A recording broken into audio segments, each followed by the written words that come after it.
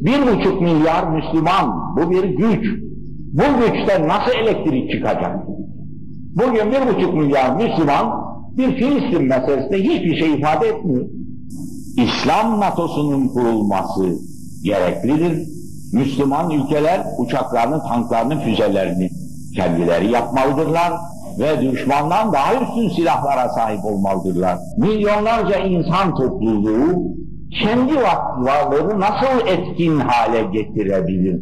Bakınız Müslüman ülkeler teknolojide geri. Peki Müslüman ülkelerin yönetimleri de dış güçlerin kontrolünde. Ne yapacağız? Bekleyecek miyiz? Hayır. Gelin biz bir teknolojik araştırma vakfı kuralım. Bu vakıf doğrudan doğruya Müslüman şuurlu insanlar tarafından finanse edilen bu vakıf Amerika'nın da daha üstün füzeleri geliştirsin. Amerika'dan da daha üstün pilotsuz uçakları geliştirsin. Amerika'dan da daha üstün elektronik kontrol cihazları geliştirsin. Kompütürle hedefi şaşmayan güdümlü mermileri, tank savarları, uçak savarları geliştirsin. Eğer Müslüman ülkelerin ilim adamları bir araya gelecek olurlarsa, batıdakinden çok daha mükemmel keşifler yaparlar. Bunların sayısız misali vardır. Yeter ki batının kontrolünden, boyundurundan kendimizi kurtaralım. Bugün dünyada İslam aleminin aleyhine olan bu katliamları, bu siyasi gelişmeleri şimdiden durdurmak için İslam Birliği kurulsun da o İslam Birliği bunları durdursun deyinceye kadar biz Balkanlarda bir tane Müslüman kalmaz maazallah. Onun için bir yandan İslam Birliği'nin kurulması, bu toplulukların güçlenmesi çalışması yapılırken öbür yandan dünya siyasetini etkileyecek, zulümleri durduracak çalışmaları da siyasi komite ele alıp bunları geliştirip bu hususta tavsiyelerde bulunmalı.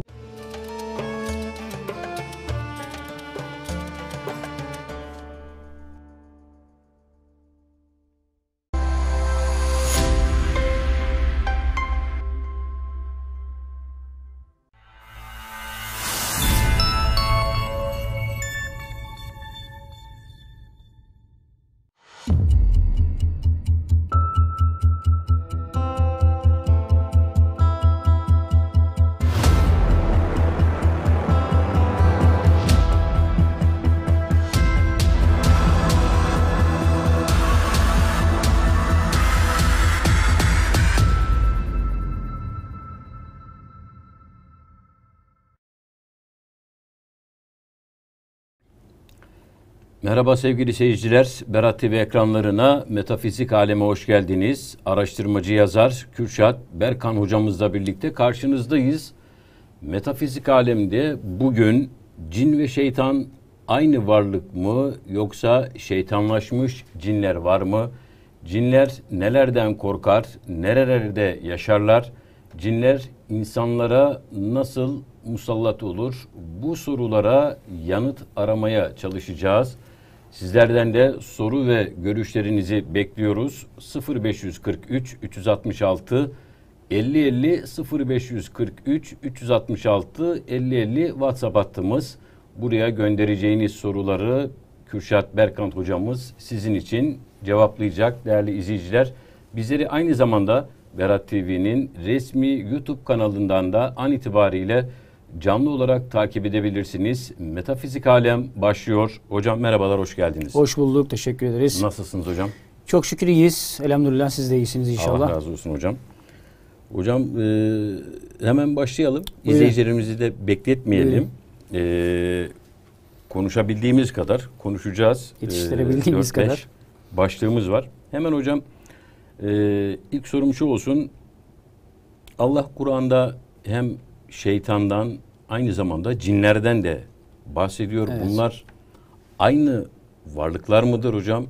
Yoksa şeytanlaşmış cinler var mıdır hocam? Hemen cevap vereyim Üstad. Ee, ama önce e, müsaaden olursa kısa bir izleyicimize e, ya da takipçilerimize bir açıklama yapayım. Lütfen hocam. Şimdi şöyle bir eleştiri gelmiş bize ve bunu birkaç kişiden e, duyduk. Bu duyduğumuz kişiler de hatırı sayıları insanlar olduğu için açıklama yapma gereği duydum. Ee, şunu derler. Ya hocam programda niye sürekli her hafta cinleri konuşuyoruz? Niye Evet. farklı konular yok? Ee, vesaire diye. Şimdi en başta şunu izah etmemiz lazım. Ee, bu program cinlerle, büyülerle ya da e, metafizik, meta ötesi olan, fizik ötesi olan konularla ilgili. Yani konumuzun ana aktörü cinler. Dolayısıyla bu programda cinleri konuşacağız. Yine Berat TV'de yaptığımız başka program var. Ee, Koray Kamacı kardeşimle beraber. Keza sizin de var. Evet hocam. Mesela Koray Bey ile ben ne yapıyoruz o programda? Ee, politika konuşuyoruz. Haftanın analizini yapıyoruz. E, siz de e, Sayın. Ahmet Anapalı ile beraber tarih programı sunuyorsunuz. Evet hocam. Ee, yani o programların formatı birininki politika, birininki tarih iken bizimkinin de formatı havas ilmi, cinler, büyüler e, yani metafizik ilim. O yüzden zaten programımızın ismi Metafizik Alem. Bununla ilgili hani şey bekliyorlar. Başka şeyler de konuşalım. İşte gizli örgütler konuşalım. Illuminati konuşalım. e, işte Ukrayna'yı Rusya'yı konuşalım falan diye. Yok. Zaten siz o programı yapıyorsunuz. Yapıyoruz aynen öyle. Bu programda biz cinleri, büyüleri konuşuyoruz. Hocam E, çok format bu.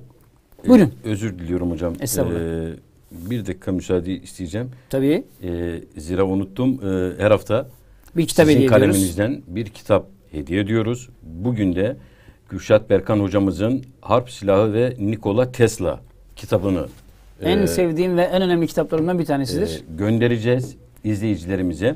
Bunun için e, değerli izleyiciler yapmanız gereken bir sorumuz olacak.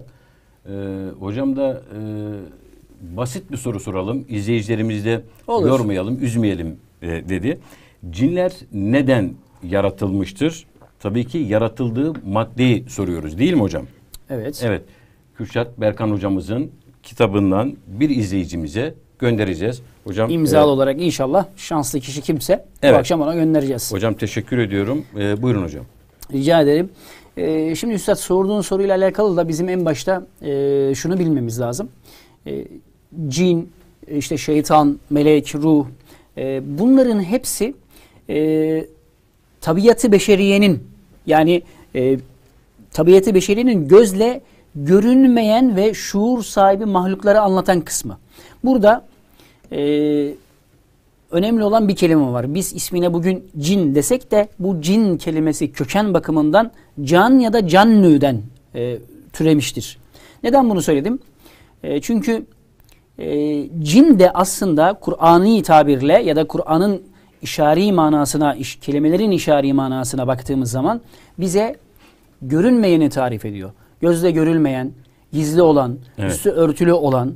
Dolayısıyla bu bağlamda baktığımızda az önce söylediğim gibi ifade ettiğim gibi cin de işte şeytan da melek de e, ve hatta hatta insanların taşıdığı ruh da e, hepsi aslında birer cindir. Hepsi aslında birer candır.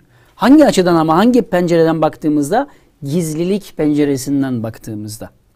Öz penceresinden değil gizlilik penceresinden Evet, baktığımızda hepsi candır. Yani cannü diye geçer.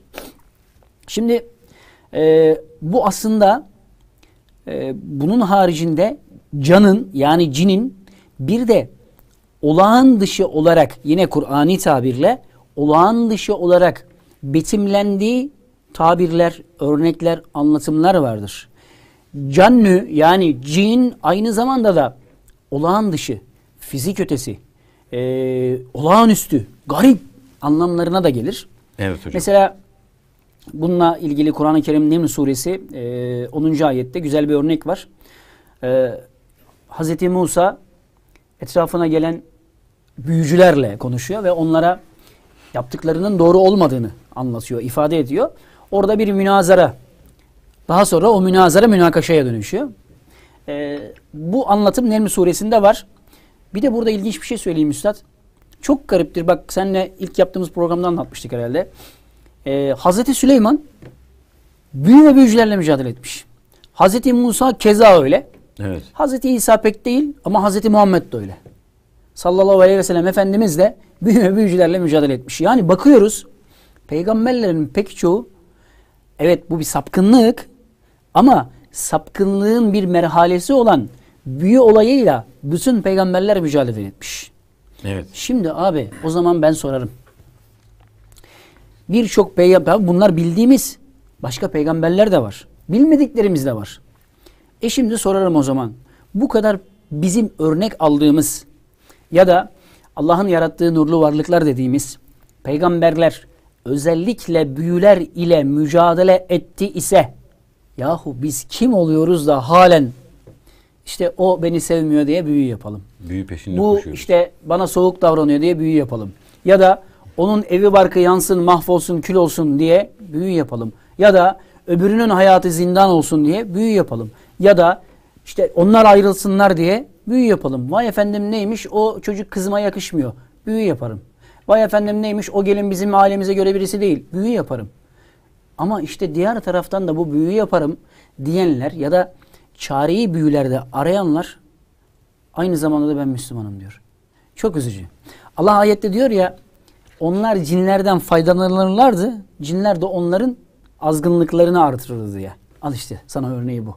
Evet hocam. Azgınlıklarımızı bu varlıklar artırıyor. Çünkü biz onlardan medet umuyoruz. Oysa ki onların e, uygulayacağı şeylerin hepsi sahte ve geçici. Sahte ve geçici. Yani düşün, şöyle düşün bir Luna Park'a gidersin. Çocuğunu orada eğlendirirsin. O Luna Park'taki eğlenecek çocuğun gülme miktarı, eğlence miktarı sadece bir saattir ya da iki saattir. Aynı çocuk akşam evine geldiğinde bir şeyden kafasını takar mızmızlık yapıp ağlayabilir. Sabah güldüm diye ömrü boyunca gülmez. İşte cinlerin vereceği o mutluluk, o büyüden dolayı mutluluk da böyle sahtedir. Anlık ve kısa diyorsunuz Bravo. hocam. Yani bak Üstad, e, bir büyünün en fazla süreceği yıl 3 yıl. 3 yıl. 3 yıl sonra o büyü tersine dönecek. Bırakmış olduğu hocam tahribat. Siz bunun altını çok sıkça Kesinlikle. Daha önce de söyledim. Büyü şuna benziyor Üstad. Ben her zaman şunu söylüyorum. Büyü dediğin an eline iki tane ağzı olan bıçak alacaksın abi. Diyeceksin ki ben o adama büyü yapacağım. O bıçağı önce kendine bir saplıyorsun. Sonra geri kalanı o adama saplıyorsun. Ve şöyle bir şey var. Eğer o adamda büyük günahlardan işlediği herhangi bir şey yoksa, yetim hakkı yemiyorsa, faiz yemiyorsa, işte ne bileyim e, büyünün onda tesir edeceği bir husus, bir hasılat yok ise o sapladığın bıçak ve o sapladığın bıçağın bakiyesi sana yazılacak. Karşı tarafa yine bir şey olmayacak.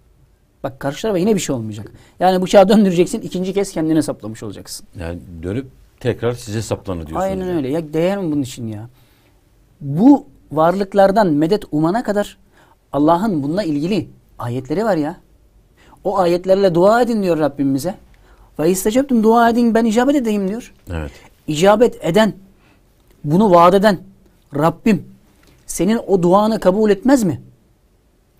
Almanya'da, Amerika'da ve İngiltere'de bilim insanları bir çalışma yapıyorlar. Farklı dini gruplardan tabii ki bizim için Allah katında tek din İslam ama onlar e, işte her ben inanıyorum diyeni çağırıp bu Evet. teste tabi tutuyorlar. Test şöyle işliyor. Sen hangi dine mensupsun? Ben Müslümanım. Sen Hristiyanım. Sen Musevi. Sen Budist. Tamam.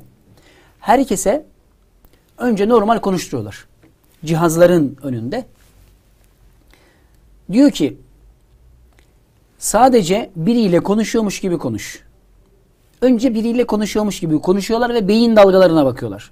Sonra biriyle konuşuyormuş gibi değil. Kendi kendine konuş. Kendi kendine konuşuyorlar. Beyin dalgalarına bakıyorlar.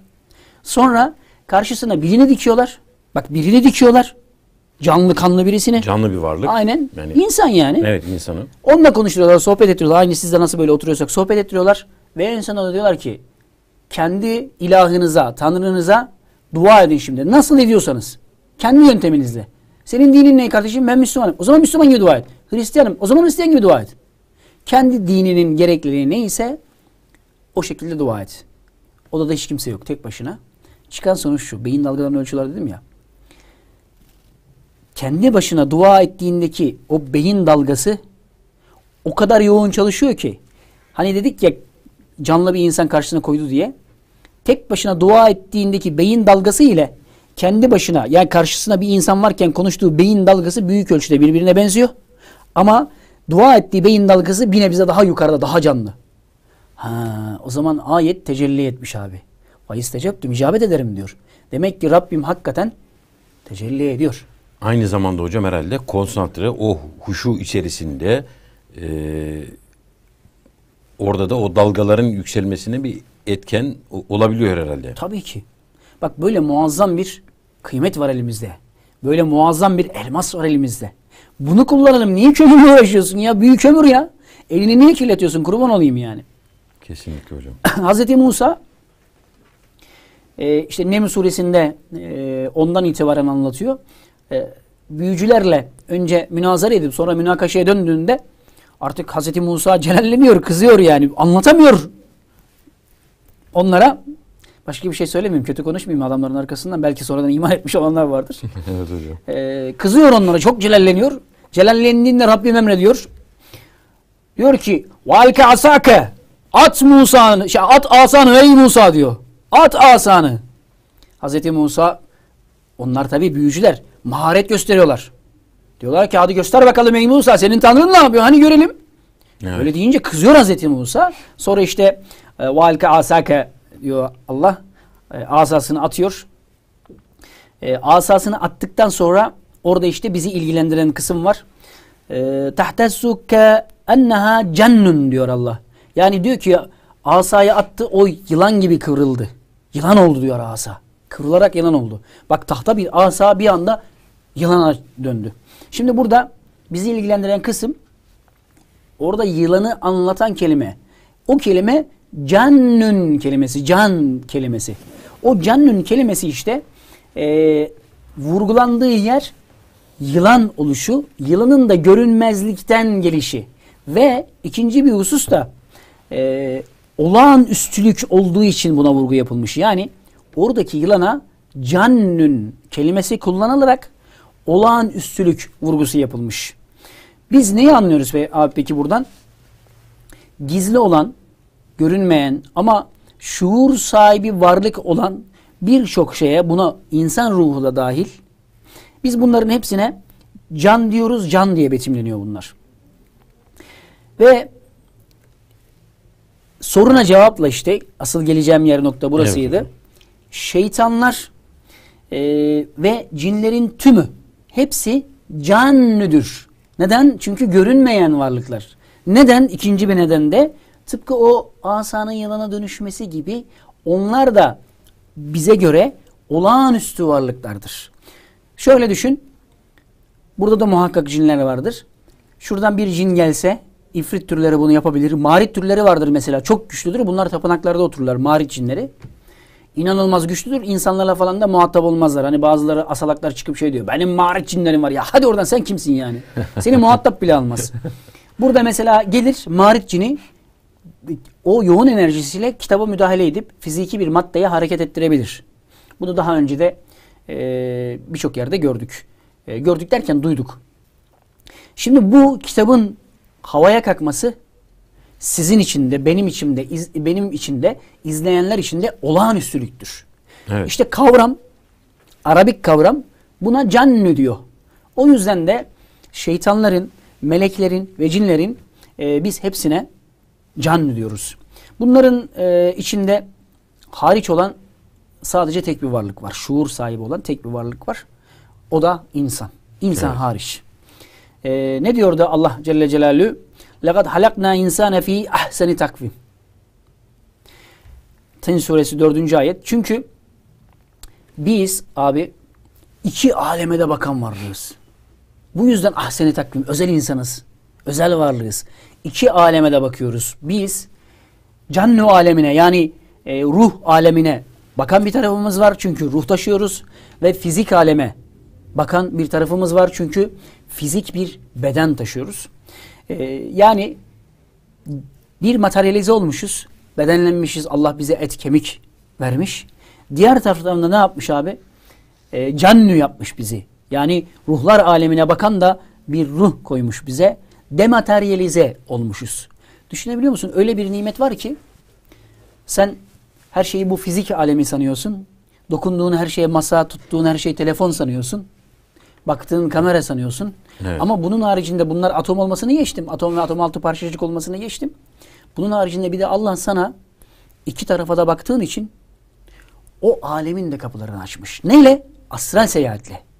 astral seyahat yaparak o ruh alemi dediğimiz, metafizik alem dediğimiz, fizik ötesi dediğimiz alemde ziyaretler yapabilirsin, insanlarla tanışabilirsin, varlıklarla tanışabilirsin, ulema ile sohbetler edebilirsin, e, farklı yerleri ziyaret edebilirsin. Bu arada bununla ilgili bizim de bir kursumuz var, online kursumuz. E, reklama girmez herhalde. E, kursdeposu.com'dan e, astral seyahatin kursunu veriyoruz biz de. Mesela orada bizim öğrencilerimizin arasında e, yapamayanlar da var. Ama çok hızlı bir şekilde astrale çıkanlar da var. Bu tamamıyla bizimle alakalı abi. O zaman hocam çok e, kısaca e, astral seyahat nedir? Şimdi izleyici oraya girdiniz ya hocam şimdi izleyicimiz e, bunu bekler. Kısaca belki şu anki konumuz o değil ama oraya Hemen bir çok e, küçük bir miktar girelim. Astral seyahat abi e, aslında esasen ruhun yolculuğu demektir. O alemde fizik ötesi varlıklar vardır. Hangi varlıkların olduğu bugüne kadar net çözülebilmiş değil. Neden? Çünkü cinni varlıklar da var orada. İnsan olan varlıklar da var. Meleklere benzeyen kanatlı varlıklar da var. Ve e, astral seyahatte işte bunun tabi şeyleri var, e, kuralları var, terkipleri var. Hani biz hiç kimseye ya astral seyahat diye bir şey var. Yat yatağa da gözlerini kapat çıkmayı düşün, çık git falan demiyoruz. Bu tehlikeli olur. Bilinçsiz çıkarsan. Çıkmadan önce ruhunu, bedenini, e, bilinçaltına hazırlamalısın. yani fiziken değil hocam ruhen değil Ruhen, mi hocam? Kesinlikle. Ruhun yolculuğu zaten bu. Astral seyahat ruhun yolculuğu. Sen nereliydin Üstad? Ben Trabzonluyum. Trabzonlusun harika. Benim de anne tarafım Trabzonludur. Ellerinden öperim. E, Trabzonlu diyorum. Karadeniz'dir düzelteyim. Yanlış olmasın. Mesela yıllardır Trabzon'a gidemiyorsun. Ama daha önce gitmiştin oraya. Bildiğin yerler var. Evin var. Köy evin var. İşte köyde ne bileyim tarlan var. Fındık, Evet. fındık bahçen var vesaire. Daha önce gittiğin, gözünle gözlemlediğin, bildiğin yerlere astral seyahat yaparak gitme imkanın var. Şimdi peki bunun ispatı var mı? Bunun ispatı tek bir şey. Dinleyeceksin, kendin göreceksin ve yapacaksın. Tek ispatı bu. Çünkü e, çok yakın bir tarihe kadar insanlar, bilim insanları da buna dahil, e, insanların bedeninin haricinde bir enerji bedeninin olmadığını savunuyordu. Ama sonra çıktı vatandaşın bir tanesi dedi ki hayır kardeşim enerji beden de var dedi. Et bedenin haricinde Kirlian fotoğrafçılığını ortaya çıkardılar. Kirlian diye bir makine ortaya çıkardılar ve Kirlian isimli makine senin enerjinin bütün fotoğraflarını çekebiliyor. Yani hocam bu e, rüya olayıyla bunu karıştırmamak gerekiyor herhalde değil Tabii. mi? Yani izleyicilerimiz şunu söyleyebilirler yani e, veya ben söyleyeyim yani hocam. Buyurun. Şimdi e, rüya görüyoruz. Örneğin kendimizi Kabe'de görüyoruz veya sıkıntılı bir durumda görüyoruz. Dediğiniz gibi işte Trabzon'da da görebilirsiniz. Amerika'da da görebilirsiniz. Bu böyle bir şey değil herhalde değil mi hocam? Sizin bu bahsettiğiniz yani rüya alemi veya Değil. gördüğümüz rüyayla bunu karıştırmamak Değil. gerekiyor. Çünkü rüyada e, hayal görürsün. Bir hayal alemidir rüya alemi. Fakat astral seyahat şu anki zamanı yaşarsın. Şu anki zamanın paralel boyutundasındır. Ve dolayısıyla e, şu anki zamanda gittiğin yerlerde ne olup bitiyorsa örnek mesela bir akrabanın evine gittin. Şu anki zamanda astrale çıktın. Bir akrabanın evine gittin. Git oradaki her şeye bak geri gel. Akrabanı ara telefonda konuş. Olanları bir bir anlat ona. Oldukça ilginç geliyor. Gerçekten. Bununla birlikte rüya dediğimiz şeyin de mesela lucid rüya var. Lucid rüya da bilinçli rüya görmek demek. Nasıl bilinçli rüya görmek? Mesela biz rüyalarımızı kontrol edemeyiz. O anki rüya akışı bizi nereye sevk ediyor ise biz oraya gideriz. O anki hangi olayın içine soktuysa bizi biz o olayın içinde yaşarız. Eğer dışarıdan bir müdahale yoksa ne müdahalesi? Rahmani ya da şeytani. İnsanın rüyaları çeşit çeşit. Rahmani rüya görebilirsin, şeytani rüya görebilirsin. Evet. Şeytani rüyada şeytanlar ya da e, cinnilerin bir kısmı müdahale eder. Bir de sıradan rüya görürsün. Hiçbir müdahale olmayan, senin bilinçaltının o gün ya, ya da o haftaki yaşadıklarını e, altta kalan bilgilerle sana gösterdiği şeylerdir. Fakat lucid rüya bilinçli olarak gördüğümüz bir rüyadır. Yatmadan önce, uyumadan önce kendini formatlarsın. Ben rüyamda Mısır piramitlerine gideceğim dersin. Ben rüyamda Ötüken'e gideceğim. Tanrı dağlarına çıkacağım dersin. Ben rüyamda Yeni Seyirman'dan işeceğim dersin. Ben rüyamda Moğolistan'da Orhun anıtlarını göreceğim dersin. Kendini formatladıktan sonra rüyanın içinde bunları görürsün. Orhun anıtlarındaki kitabeyi, Tonyuk'un kitabesini okursun. Bu lucid rüyadır. Ama bu hayaldir. Gerçekte oraya gitmezsin. Aynı anda farklı yerlere gittiğinde gerçek olaylar olmaz. Tamamıyla her şey kurgu olur. Fakat astral seyahatte her şey birebir gerçektir. Bu alemi de görebilirsin. Bu aleme de müdahale edebilirsin. Lakin orada da yasalar vardır. Örnek mesela sen gidip de e, başkasının bir mahrem bölgesine girip röntgencilik yapamazsın. Cinsel istismarda bulunamazsın.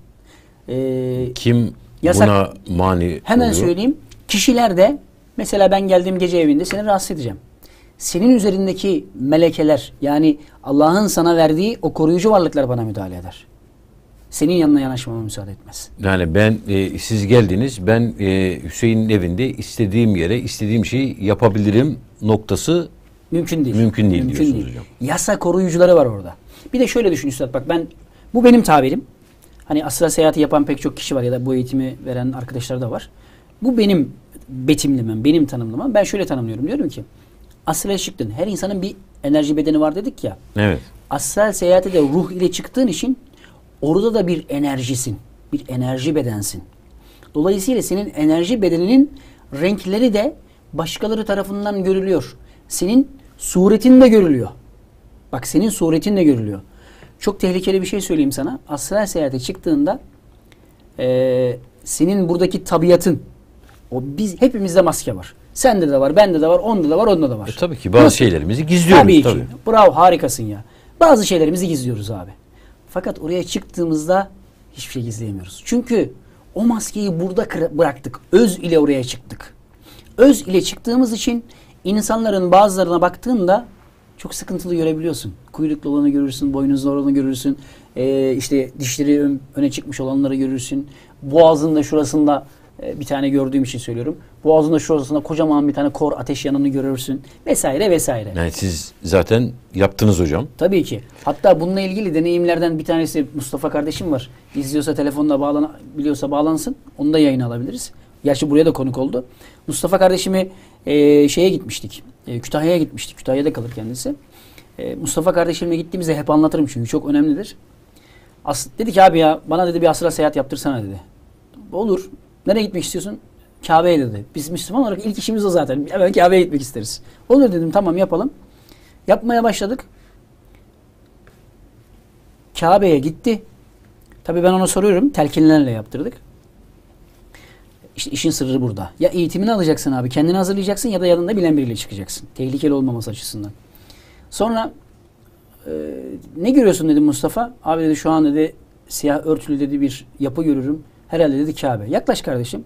Yaklaştım abi. Ben evdeyim. Ben Asrel'de değilim. O sadece Asrel'de. Bu arada ben hiç Kabe'ye gitmedim. Niye bunu söyledim birazdan anlayacaksın. Dedim ki Mustafa şimdi sağ tarafına bir dön kardeşim. Döndüm abi dedi. Bak dedim ileride sıra sıra dizilmiş dedim musluklar göreceksin. Evet abi git dedim onların yanına. Onlar dedim zemzem. Onlardan dedim abdest al. Gitti. Bir güzel abdest aldı. Bak astral yaşıyor. Abdest aldı. Ee, ondan sonra dedim ki az önceki noktana tekrar geri gel. Tekrar yürüdü geri geldi. Şu an dedim tam Kabe'ye mi bakıyorsun? Evet dedi Kabe'ye bakıyorum abi. Şimdi dedim sol çaprazında keşke o bağlansa da ben anlatıyorum ama sol çaprazında dedim bak yaşlı bir adam var. Elinde dedim bir tane odun parçası tutuyor. Asaya da bile dedim benzemiyor. O adamın yanına git selam ver. Gitti yanına selam verdi. Selamünaleyküm diye. Ben hemen orada bir uyanıklık yaptım. Acaba hani ben telkin veriyorum diye Mustafa hayal mi görüyor? Yoksa gerçekten mi? Dedim ki Mustafa e, bu selam verdiğin adamın dedim bana burnunu bir tarif eder misin? İşte tarif etti abi dedi büyük burunlu. işte biraz eğik burnu. Başka dedim üstünde ne var? İşte abi uzun dedi bir entareye benzer bir şey var. Başka? Belinde dedim ne var? Abi dedi belinde dedi şey var. Bir kuşak var. Ne renk dedim? Ya böyle dedi yeşile benzeyen bir şey. Dedim tamam. Çünkü ben aynısını ben de görüyorum. Hani ona da söylettiriyorum ki bakalım hayal mi görüyor, uyduruyor mu? Yoksa gerçekten benim gördüğümü görüyor mu? Mustafa e, ona şöyle dedim. Dedim ki Mustafa şimdi o dedemiz ona dedi ki benim sizden tek bir isteğim var. Bir ilim, iki dua. Bak bir ilim, iki dua. Bunları iste. Ben dedim aradan çekiliyorum. Onunla biraz baş başa kal. Sonra kendiliğinden zaten buraya çekileceksin. Tamam mı? Tamam. Mustafa hakikaten o amcamızın elini öptü. Konuştu. Dua istedi. ilim istedi. Ve hatırlarsa bak hatırlarsa eğer güzel kardeşim o günden sonra Mustafa'nın çıtası yüzde yüz yukarıya çıktı. Bak şimdi kanal kanal geziyor. Yeni kitabı çıkıyor. Dua aldı çünkü. Mübarekten dua aldı. O mübarek zat siz ve bahsettiğiniz kişi kim olduğunu biliyor mu? Hayır. Ben biliyorum ama Mustafa bilmiyor. Bilmesi de gerekmiyor zaten. Ben bildiğim için onu gönderdim zaten. Ama siz biliyorsunuz Ben hocam. biliyorum evet. Ama işte kim olduğu hani oraya geleceğini düşünüyorum ama kim olduğunu sorma. Orası söylenmez. yani o Hocam, yüzden bu konu gerçekten çok İlginç. e, ilginç. E, ben de böyle e, donuk bir vaziyette sizi e, dinliyorum, izliyorum. E, çok geniş aslında e, konuşabiliriz. inşallah hatta bir program Bunu- şeye ayıralım. Yani bu, bu konuya ayıralım. Sadece bunun üzerinde konuşabiliriz hocam. Çünkü günlerde. yani şimdi mesela siz burada bunlardan bahsederken e, benim aklıma geldi. İzleyicilerimiz de e, yazıyorlar. E, yani Hatta- acaba burada bir hipnoz olayı var mıdır? Zihin kontrolü mü e, bir yönlendirme falan buna benzer birçok Hemen bir şey söyleyeyim orada. İnşallah bu programı ilerleyen Ramazan'dan sonraki programlarda planlayalım yapalım. Ee, bununla ilgili bak çok güzel yere detaya geldin aslında. Bununla ilgili Mustafa benim yanımdaydı. Evet belki de hipnoz yapmışımdır. Niye olmasın değil mi? Çok Yani- güzel çok güzel yere geldin. Bununla ilgili ne yapalım biliyor musun üstad? Ben dedim ya biz bunun kursunu veriyoruz diye. Kursumuzu almış ve astral seyahate çıkmış işte kişiler var yazıyorlar. Evet hocam. Hocam biz çıktık şunları şunları yaşadık diye. Bak o insanlarla fiziki bir bağım yok. Ee, online değil kurslarımız video kurs. Yani ben anlatıyorum ama canlı anlatmıyorum. Dolayısıyla benden etkilenme gibi bir şeyler mümkün değil olmaz. Astrale çıkan ve enteresan olaylar yaşayanlar var. Onları bizzat bağlayalım. Kendileri bizatihi anlatsın neler yaşadıklarını. Olur hocam. Ben sadece şunu savunuyorum üstad. Ben astral seyahat işte astral seyahatin kursunu veriyorum. İşte maharet bende. Ben yapıyorum falan asla demiyorum. Sadece şunu söylüyorum. Diyorum ki bak yakında numaroloji kursumuz başlıyor. Gerek YouTube'dan gerek işte yine kursdeposu.com sitemizden vereceğiz numaroloji kursunda. Ben sadece şunu söylüyorum. Diyorum ki arkadaşlar bende bir maharet yok. Ben aciz bir kulum. Maharet nerede biliyor musun? Allah'ın havas dediği ilimde. Bu ilim o kadar muazzam, o kadar sonsuz ki bu ilimde. Ben bu ilimden kocaman bir derya, ben bu ilmin sadece bir iki damlasını, bana göre üç damla, bir iki damlasını aldım heybime koydum. Saklayabilirim de. Hiçbirinizin haberi olmaz. Evet. Ama ilim saklıyorsan bu bile günah. Haram. O yüzden ben heybeme aldığım ilimleri insanlara sunmaya çalışıyorum. Paylaşıyorum E, diyorsunuz paylaşıyorum. hocam. Aynen Hizmet öyle. ediyorum. İnşallah dediğin gibi Ramazan'dan sonra e, bununla ilgili bir program yapalım. Hatta mümkünse o arkadaşlarımızı da Olabilir e, hocam. getirelim. Canlı canlı dinleyelim. Olabilir E, hocam. canlı yayına bilemiyorum. E, Uzak yerlerde olanlar var ama telefonla mutlaka bağlarız diye düşünüyorum. Şimdi Şey de olur hocam. Skype e, Ha, bağlantısı. o da olur, o da olur evet. Şimdi üstad daha reklam aramızı var herhalde. Kısaca şu konuyu toplayayım hemen müsaadenle. Başka soru varsa E, onu alabiliriz. hocam- Astralle ilgili. Yok. e, ilk konuyla alakalı bir sorularımız var hocam. Tamam sen soruyu oku üstad. Ben hemen hızlıca bir toparlama yapayım. Ondan sonra sorulara cevap verelim. Hemen şöyle izah edeyim. Şimdi soruya tam cevap veremeyince rahat edemiyorum. Buyurun Ee, cinler ve şeytanın e, soruya cevap olarak söyleyeyim. Yaratılışı aynı. Cinlerin ve şeytanların yaratılışı aynı. Bu iki varlık da muhteviyat anlamında e, ateşten, dumansız ateşten yaratıldı. Hatta hatırlarsan geçen programda, geçen haftaki programda çok detaylı bir şekilde bunu anlatmıştık. Peki şöyle bir soru gelebilir. Ee, ikisi aynı ise ikisi de ateşten yani nar diyor Kur'an-ı Kerim. Evet. Ee, hatta bugün okudum bir yerde e, yine benim programın altına yazmışlar herhalde yanlışlıkla. Ee, cinler e, nar meyvasından yaratıldı diye. O nar bu nar değil abi. o nar bu nar değil. Ateşten bahsediyoruz. Yani meyveden, sebzeden yaratılmadık. Şey yaratılmadılar. Onlar ateşten yaratıldılar. Şimdi bana bu soru geldiği için böyle söylüyorum. Diyor ki işte hocam ikisi de e, ateşten yaratıldıysa e, o zaman e, niye biz birine cin diyoruz da öbürüne şeytan diyoruz? İkisine Evet. de cin diyelim. Evet. E, O zaman çünkü- şu mu devreye giriyor hocam? Buyurun. Yani şeytanlaşmış cinler mi var? Sorunun devamının kısmında bu mu devreye? Harika. Çok güzel yere geldin. Ben de benzer bir yere geleceğim. Ee, Kur'an'da şeytana vaat verilirken hani şeytan secde etmiyor falan. Evet. Ya. Ah Meluna. Şeytana vaat verilirken sen ve zürriyetin diyor. Bak şeytan diyor sen ve zürriyetin diyor. Başka bir ayette şüphesiz şeytan da cinlerden de diyor. Evet. Hayda. O zaman biz niye şeytan diyoruz buna? Ya da öbürüne niye cin dedik? Gibi sualler geliyor. Mesela e, burada net olarak şunu söyleyebilirim. Şeytan bir vasıf değil abi. Şahsından bahsetmiyorum, isminden bahsediyorum. Şeytan kelimesi bir vasıf değil. Şeytan bir ünvan. Onun ünvanı o. Mesela az önce sen söyledin çok hoşuma gitti. E, şeytanlaşmış cinler dedin ya. Biz ne diyoruz abi? Şeytanlaşmış insanlar diyoruz. Ulan bu- Evet. bu var ya şeytan gibi insan diyoruz. Ama senin söylediğini söylemiyoruz. Şeytanlaşmış cin demiyoruz. Sen hiç duydun mu şeytanlaşmış cin diyeni? Demiyoruz çoğunlukla. Cin gibi diyoruz ama hocam. Ama bak işte bu da cin gibi falan diyoruz ya hocam. Daha Ee, çok böyle kurnaz e, bravo. Cin gibi dememizdeki maksat üstad uyanıklık me- Evet. mevinden. evet hocam. Orada eee uyanıklara bir benzetme yapıyoruz, bir atıf yapıyoruz. Bu bir atıf. Evet. Ama şeytan da aynı şey söz konusu değil. Diyoruz ki e, şeytanlaşmış insan. Bak bir vasıf giydirdik. Ama öbürü benzetme. Evet. Cin gibi insan bir benzetme, vasıf değil. Mesela şu olsaydı o zaman e, şey olacaktı. E, vasıf yerine işte e, benzetme yerine vasıf olacaktı. Ya bu da var ya aynı cinlere benzedi. O zaman bak vasıf olacaktı. Evet. Ama böyle bir vasıf yok. Cin gibi insan uyanıklık devinden söylüyoruz bunu. Şeytanlaşmış insan derken de biz buna bir hüküm veriyoruz. Peki o zaman şöyle bir soru gelebilir. Şeytan nasıl şeytan oldu? Cindi de nasıl şeytan oldu? Secde etmedi. Evet. Allah'a isyan etti. Evet. Allah'a isyan eden her insan da şeytan. Onun iki ayaklı olması, fiziki bir bedene sahip olması, e, işte insan suretinde olması bu işi değiştirmez. Mesela hiç işi gücü yok. Birkaç gün önce sosyal medyada gördüm. Adamın hiç işi gücü yok. Kendine babalarından kalma e, bir harabe eve 20-25 tane kediyi, kedi yavrusunu doldurmuş.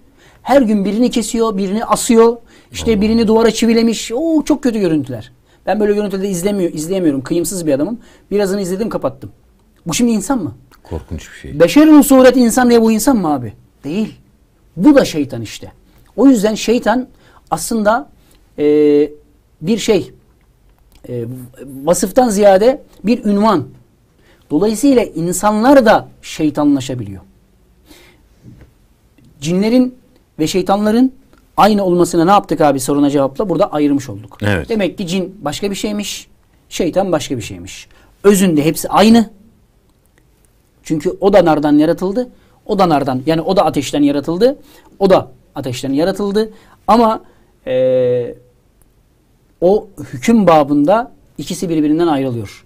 Birisi normal saf olarak cin kalmaya devam ediyor. Birisi kötülükleri, azgınlıkları sebebiyle zaten şeytan Kur'an'a bakarsak kelime manasıyla aşırıya giden, azgınlık yapan, e, kötülükleri ileri boyuta taşıyan demek. Haddini aşan. Bravo. Evet hocam. Dolayısıyla cin eğer haddini aşıyorsa, isyan ediyorsa, azgınlık yapıyorsa o şeytanlaşmıştır. İnsan eğer Allah'ın emir ve yasaklarına uymuyorsa, başka insanlara zarar veriyorsa, başka hayvanlara zarar veriyorsa, hak hukuk gözetmiyorsa, e, azgınlıkları çok ise o da insan vasfından çıkmıştır. Şeytandır artık yani. Evet. Bu bağlamda düşünmeliyiz. E, cinler ve insanlar son bir şey söyleyeyim bitirelim. Lütfen hocam. Cinler ve insanlar e, bana göre doğan varlıklar. Çünkü Kur'an öyle söylüyor. Bizi kullukla Allah mükellef kıldı. Cinleri de insanları da ve ma halaktul cinne ve insa illa dedi Allah. Evet. Ben ikinizi de bana kulluk edin diye yarattım. Başka bir gayeniz yok sizin diyor. Başka bir gayeniz yok. Halis muhlis kul ol diyor. Ve başka ayette ne diyor? Emrolunduğun gibi dost doğru ol diyor. Dolayısıyla tekrar söylüyorum. Cin doğan bir varlıktır. İnsan doğan bir varlıktır. Bir anası vardır. Bir e, babası vardır. Üremiştir. Cin de insan da. Ama şeytan öyle değil. Şeytan doğulmaz. Şeytan olunur. Tıpkı öğretmen olunmaz, öğretmen doğulmaz, öğretmen olunur gibi. İşte yazar doğulmaz, yazar olunur gibi. Bir daha tekrar ederseniz hocam iyi olur. Bu güzel bir cümle. Aynen. Yani Tekrar söyleyelim. kalsın. Şeytan doğulmaz abi. O bir cindir. Cinlerin vasfındandır. Şeytan olunur. İnsan doğulur.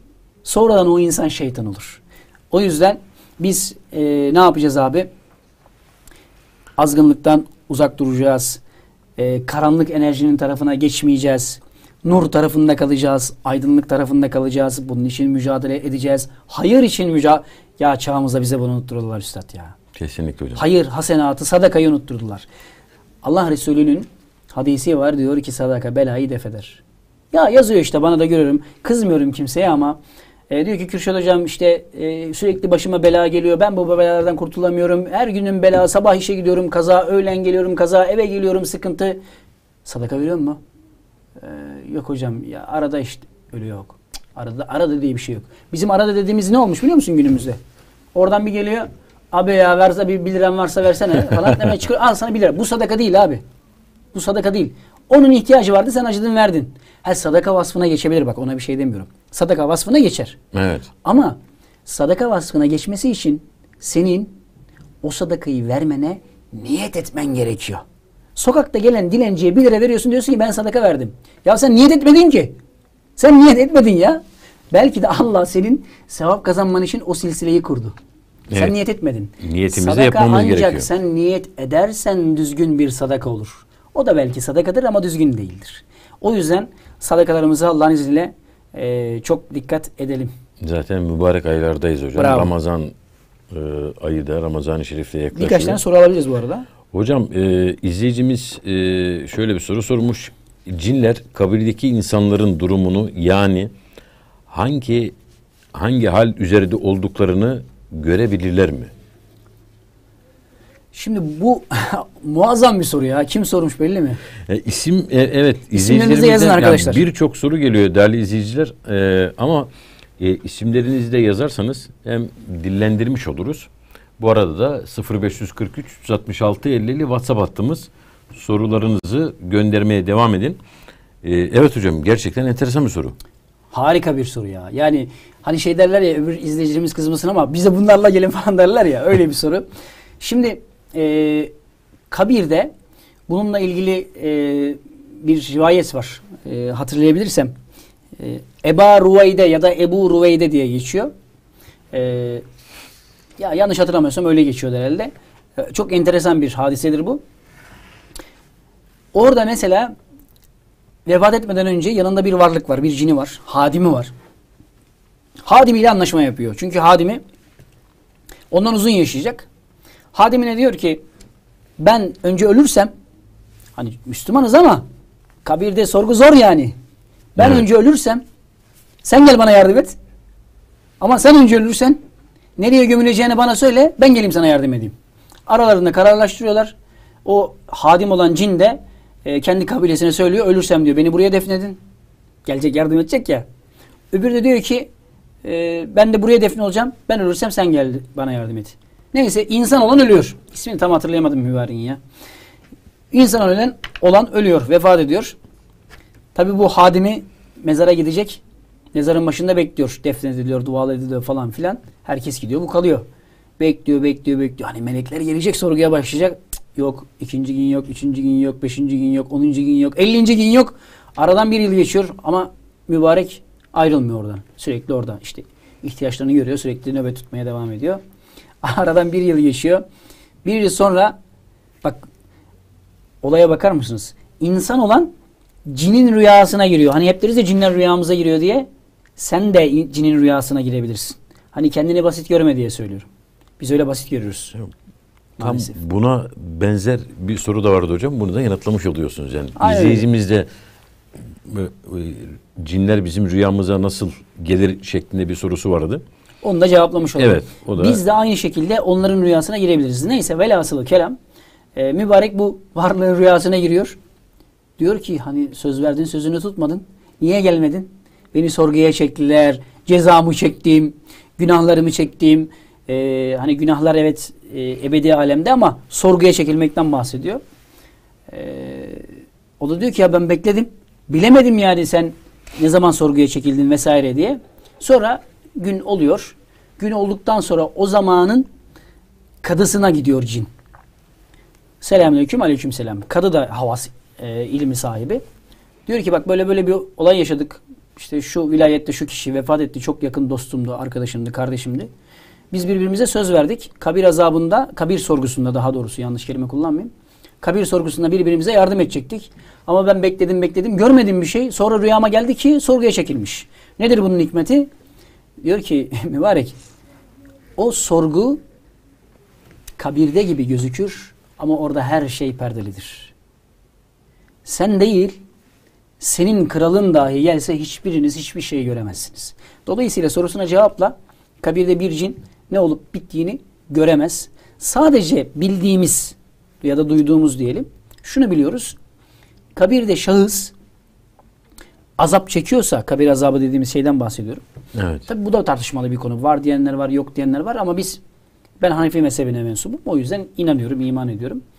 Ee, tek bilip duyduğumuz kabir azabında acı çeken birinin feryatlarını insan da olsa, cin de olsa duyarmış. Tek bildiğimiz bu. Ha dersen ki ya Kürşat Hocam senin bizzat duydum diyen bir cinle münasebetin tanışmışlığın oldu mu? Yok olmadı. Fakat pek çok anlatımda, rivayette bu vardır. Kabir azabı çeken birinin feryatlarını bir insan da duyabilir, cin de duyabilir şeklinde bir Evet. beyanat vardır. Bu arada soruyu da hocam e, Batuhan Durgun Beyefendi sormuş. İsmi- Harika sormuş. Teşekkür e, ediyoruz kardeşim. Yazmış. E, yine isimsiz bir izleyicimiz e, diyor ki e, Kürşat hocama sorar mısınız? Zamanda yolculuk asralde geçmişe yapılabilir mi? Şimdi ona bu da çok e, karmaşık bir soru. Cevabı karmaşık daha doğrusu soru değil de. Kısaca hocam e, şey yapalım. Şimdi şöyle ben birincisi zamanda yolculuğa inanan birisi değilim. Zamanda yolculuğa inanmıyorum, ihtimal vermiyorum. Ee, çünkü büyük baba paradoksu vardır. Örnek mesela zamanda yolculuk olsa ben geçmişe gittim. Dedemi buldum. Dedemi öldürdüm. Dedemi öldürünce babam doğmadı. Babam doğmayınca ben olmadım. Ben olmayınca dedemi öldüremedim. Nasıl olacak? Olmaz yani. Ee, bir eksik bir sıkıntı var. Ha paralel alem var olabilir. O paralel alemde e, bir iddiaya göre yedi alem vardır. Yedi rakamı önemlidir biliyorsunuz. Evet. E, o işte beyana göre yedi alem vardır. Yedi alemdeki kürşatları ziyaret edebilirsin belki. Bilmiyorum. Bu bana ma- bu arada hani bunun detayına girmiyoruz ama bunu mantıklıca araştırabilirler. Bu mümkün gözükebilir. Ama geçmişe seyahat yani ya da geleceğe seyahat bana mantıklı gelmiyor. O nedenle asla seyahatte de geçmişe ya da geleceğe gidilmez. Asla seyahatte sadece anda kalırsın, anı yaşarsın. Bu zaman hangi zamansa o zamanı yaşarsın. Fakat zamandan bahsetmişken astralde zaman farklı işler. Orada mesela e, çok uzun bir zaman geçirirsin. Örnek mesela 12 saat geçirirsin. Buraya bir gelirsin daha bir saat olmamış.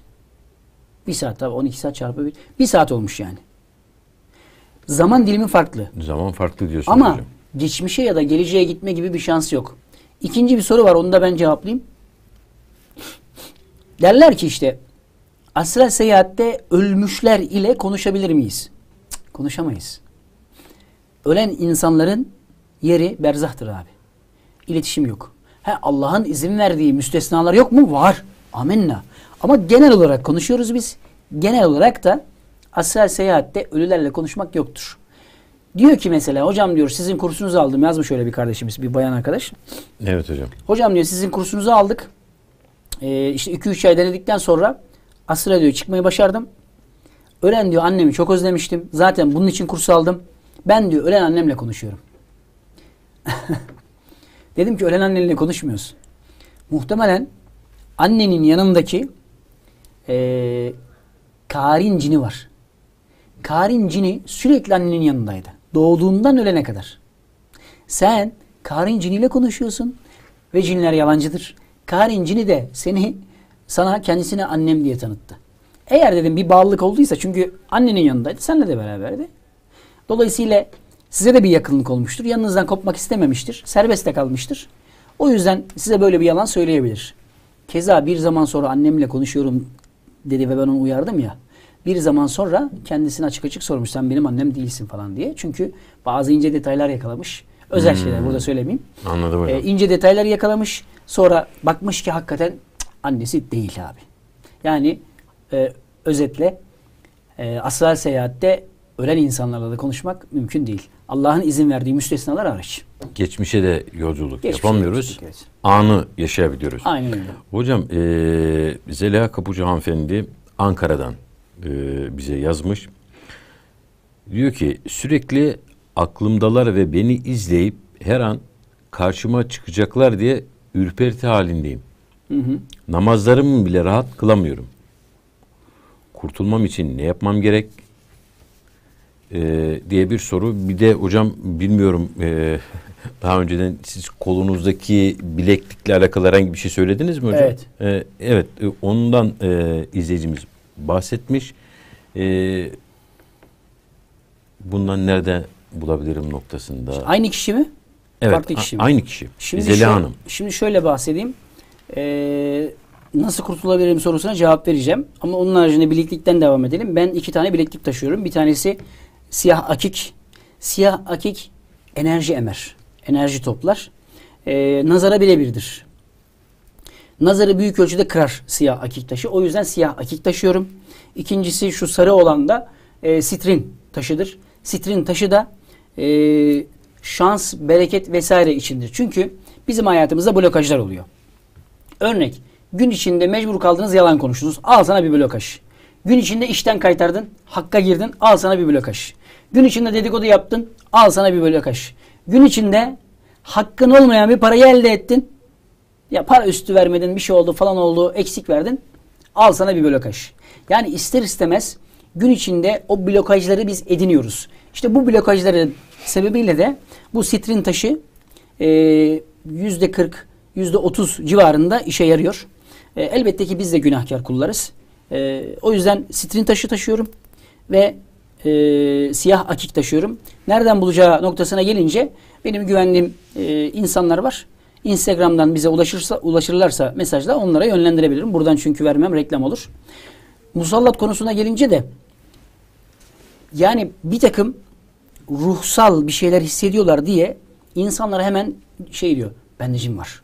Bende kesin büyü var abi. Yok yok ben eminim ya bende büyü var. Namazımı bile rahat kılamıyorum diyor hocam. Ya onda olabilir. Onun için bir şey demiyorum. Ama insanların çoğunda bu var abi. Bak bunun yerine şimdi bu insanlar ne yapıyorlar? Cinci hocaya gidiyorlar. Diyor ki Evet. hocam bende diyor sıkıntı var. İşte namaz bu kardeş için konuşmuyorum. Bu kardeş evet bir sıkıntısı var belli. İşte namaz kılamıyorum diyor. Canım sıkılıyor. Evde duramıyorum. Hoca para alacak yani. Hemen diyor ki sende büyü var kızım. Evladım oğlum sende büyü var. e kaç para hocam? E, 3 bin lira bir ateşlersen hani yardımcı oluruz. Bak bunun yerine çok basit bir yöntem söyleyeyim. Abi gece yatıyorsun yatağına uzanıyorsun. Alıyorsun kulaklığı eline. Ee, YouTube'da rukiye ayetleri var. Hani bende bir şey var mı yok mu tespit edeceğim ya. Rukiye ayetleri var. Genel rukiye ayetlerini önce takıyorsun dinliyorsun. Eğer sende bir metafizik sıkıntı varsa, büyü varsa, cin musallatı varsa bedeninde bazı farklılıklar olur. İşte göğsün daralır, karıncalanma olur, elin ayağın yanmaya başlar, başına ağrılar girer. Bu gibi aksiyonlar olursa dinlemeyi bırak. Sende bir şey vardır. O zaman işte ehil birini bul. Bak o zaman ehil birini bul. Onun bunun var demesine inanma. Büyücü değil. Aynen öyle. Birinci gün normal rukye dinledin. İkinci gün yakma ayetleri var. Onları dinleyeceksin. Çünkü Kur'an şifadır. Ve nunezzilu minel Kur'an ma huve şifa ve rahmetul lil müminin. Estağfirullah. Rabbim böyle buyuruyor. Biz Kur'an'ı şifa için yarattık diyor. Birinci gün normal, ikinci gün yakma ayetleri, üçüncü gün de normal dinleyeceksin. Bu üçünde de sende bir atraksiyon varsa, aksiyon varsa evet bir problem olduğuna işaret edebilir. Yine de bak yine de bir ihtimal bilinç altında sana oyun oynuyor olabilir. O yüzden çok iyi tespit etmen lazım kendi kendine. Sonra işte bilen birilerine gidebilirsin. Bilen birilerine e, yönlendirmesi için e, birilerini bulabilirsin vesaire. Hocam eee, bir ara verelim. Açtık herhalde biraz birinci bölümü. Ee, yok hocam. Ee, yönetmenim de şimdi uyardı. Ee, kısa bir ara verelim hocam. ardından ikinci Tamam, bölümde inşallah. devam edecek. Devam edeceğiz. İzleyicilerimizden gelen soruları da yanıtlamaya. Değerli izleyiciler 0543 366 50 50 WhatsApp hattımız. Ee, sizler sorularınızı WhatsApp hattımıza göndermeye devam edin. İkinci bölümde araştırmacı yazar Kürşat Berkan hocamız sorularınızı yanıtlamaya devam edecek. Şimdi kısa bir ara ardından birlikte olacağız.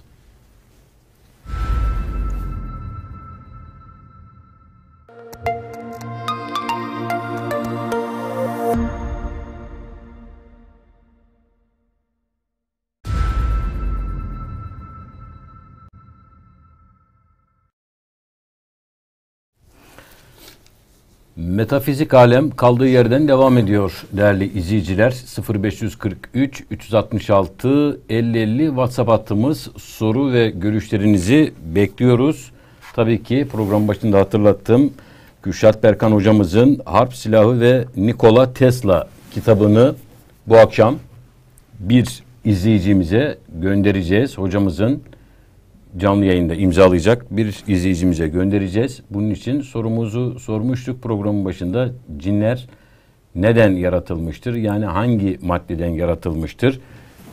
Cevaplarınız geliyor hocam. Ee, yoğun olarak e, Maşallah, doğru maşallah. e, cevaplar var. Zeki insanlara program yapıyoruz. Gelsin tabii ki. Ee, hocam e, izleyicilerimizin de soruları var ama ben bir soru sorup ondan sonra izleyicilerimizin Buyurun, hay hay. sorularıyla devam edelim. Ee, hocam bu da çok merak edilen bir e, soru. Cinlerin meskenleri, evleri ve nerede yaşadıkları Yaşadıkları. konusu hocam. Evet şimdi e, bu da dediğiniz gibi çok e, tartışılan konulardan bir tanesi. Cinler e, nerede yaşar, nerelerde olurlar? Bununla ilgili bir hadis var. Bu hadis e, Tirmizi'de var. E, Nesai'de, İbn Mace'de veya Erkam'da da geçiyor. E, bir otluk gösteriyor Allah Resulü. E, orada diyor ki şu otlukların dahi sahibi vardır. Oradan sorumlu olanlar vardır. E, bir hacetinizi gidereceğiniz zaman çünkü orada hani hicret esnasındalar. Birisi hacet giderecek müsaade istiyor. Sonra söylüyor. Bu otlukların bile diyor bir sahibi vardır.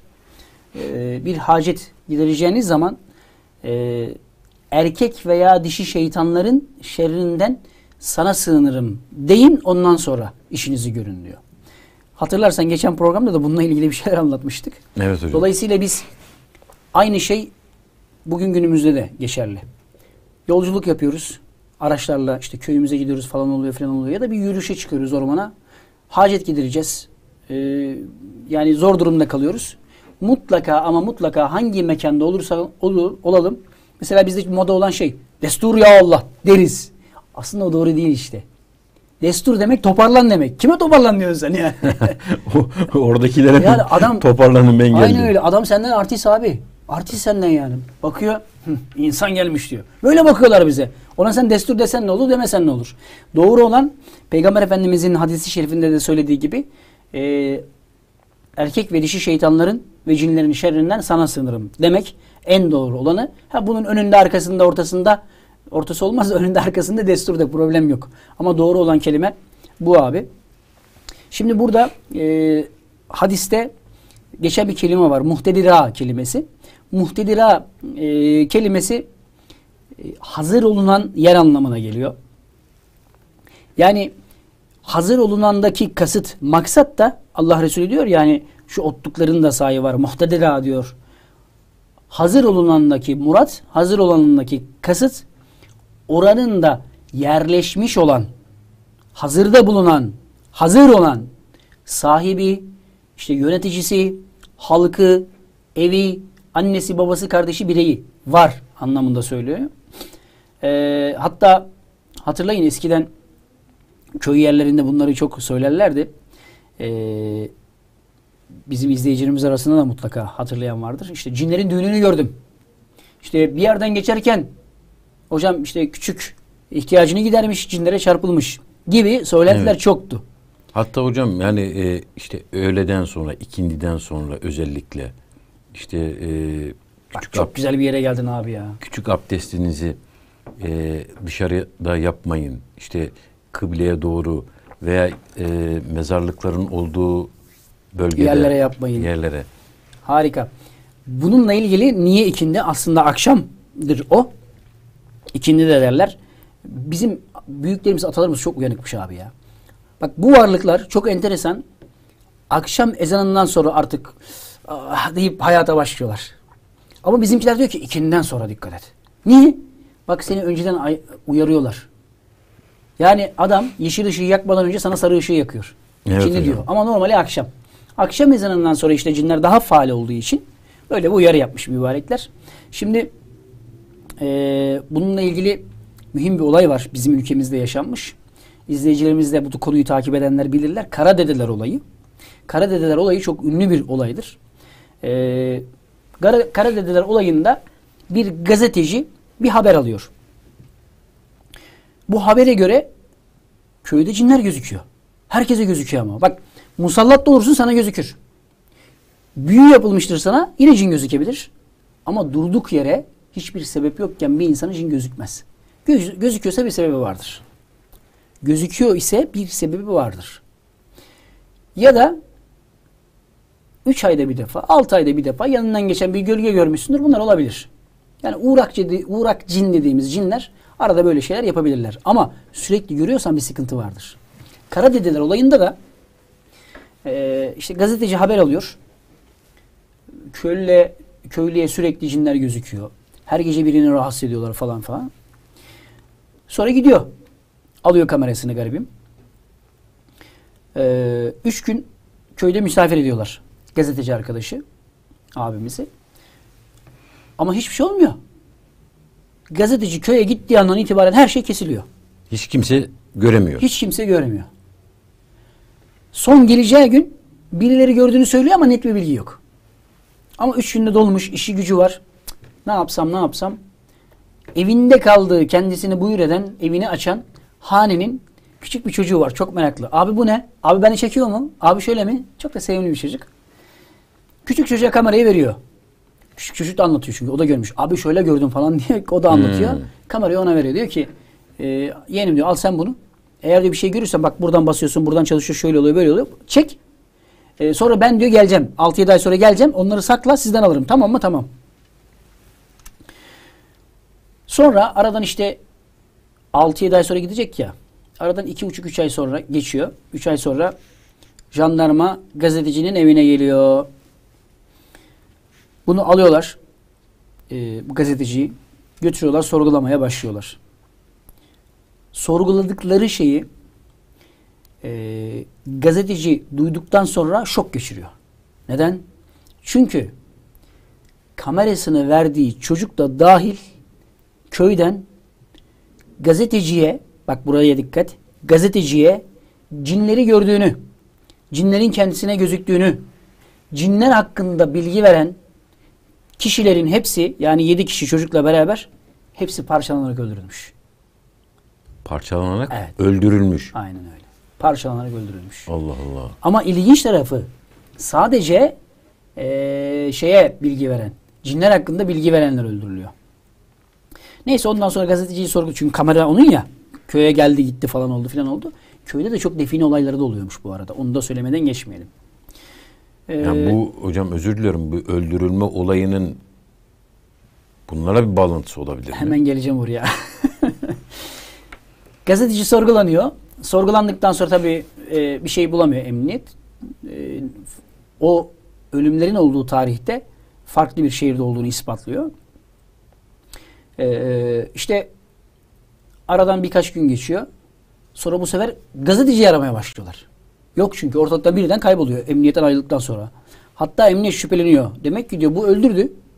Şimdi kaçtı. Allah Allah. Mevzu derinleşiyor, araştırmaya başlıyorlar ki o gazetecinin gittiği Karadedeler olayının olduğu köyün içinde ormanda gazetecinin elbiseleri bulunuyor ve elbiselerinde kan var. Ceset meset hiçbir şey yok. Gazeteci de yok edilmiş. Ve ondan sonra da hiçbir zaman gazeteciden haber alınmıyor. Ee, Tabi daha enteresanı var. Yıllar sonra gazeteciyi sorgulayan e, subay bunlara inanmıyor. Yani bir şeyler var ama bu ölümün falanın filanın cinlerden olduğuna inanmıyor. Gazeteciyi böyle e, inançsız bir şekilde sorguluyor. Çünkü normaldir. Hak veriyorum o adama da. E, realist bakmak zorunda. O da olaya realist bakıyor. Evet. Çünkü günümüzde e, işte ben yapmadım cinler yaptı diyen bir sürü e, saçma sapan insanlar var. Yani hatta çok özür diliyorum izleyicilerden e, cinlerden hamile kaldım diyen bile var. Farklı insanla bir Evet. ilişki sonucunda hamile kalıp örtbas etmek için. Neyse velhasılı kelam e, sorgulayan subay o sorgulama bittikten sonra gazeteci öldürüldükten sonra hayatında felaketler yaşamaya başlıyor. Önce bunalıma giriyor. İşte subaylıktan atılıyor. Eşiyle ayrılıyor.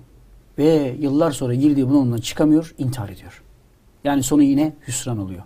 Şimdi toparlayalım abi. Ee, cinleri onlara bir şey yapmazsan şimdi bu olayı biraz abartı kara dediler olayı özellikle abartı olabilir. Hatta ispatlanamadığı da söylenir.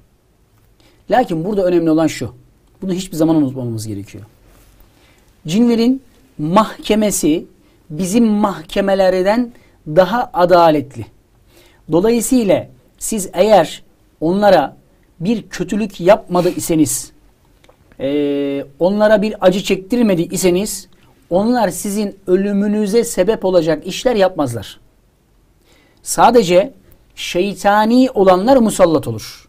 Onda da verilmiş ahitleri var. Ne o ahit?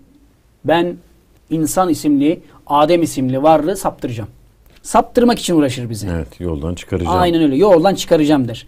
Dolayısıyla siz cinlere zarar vermedikçe onlar size zarar vermez abi.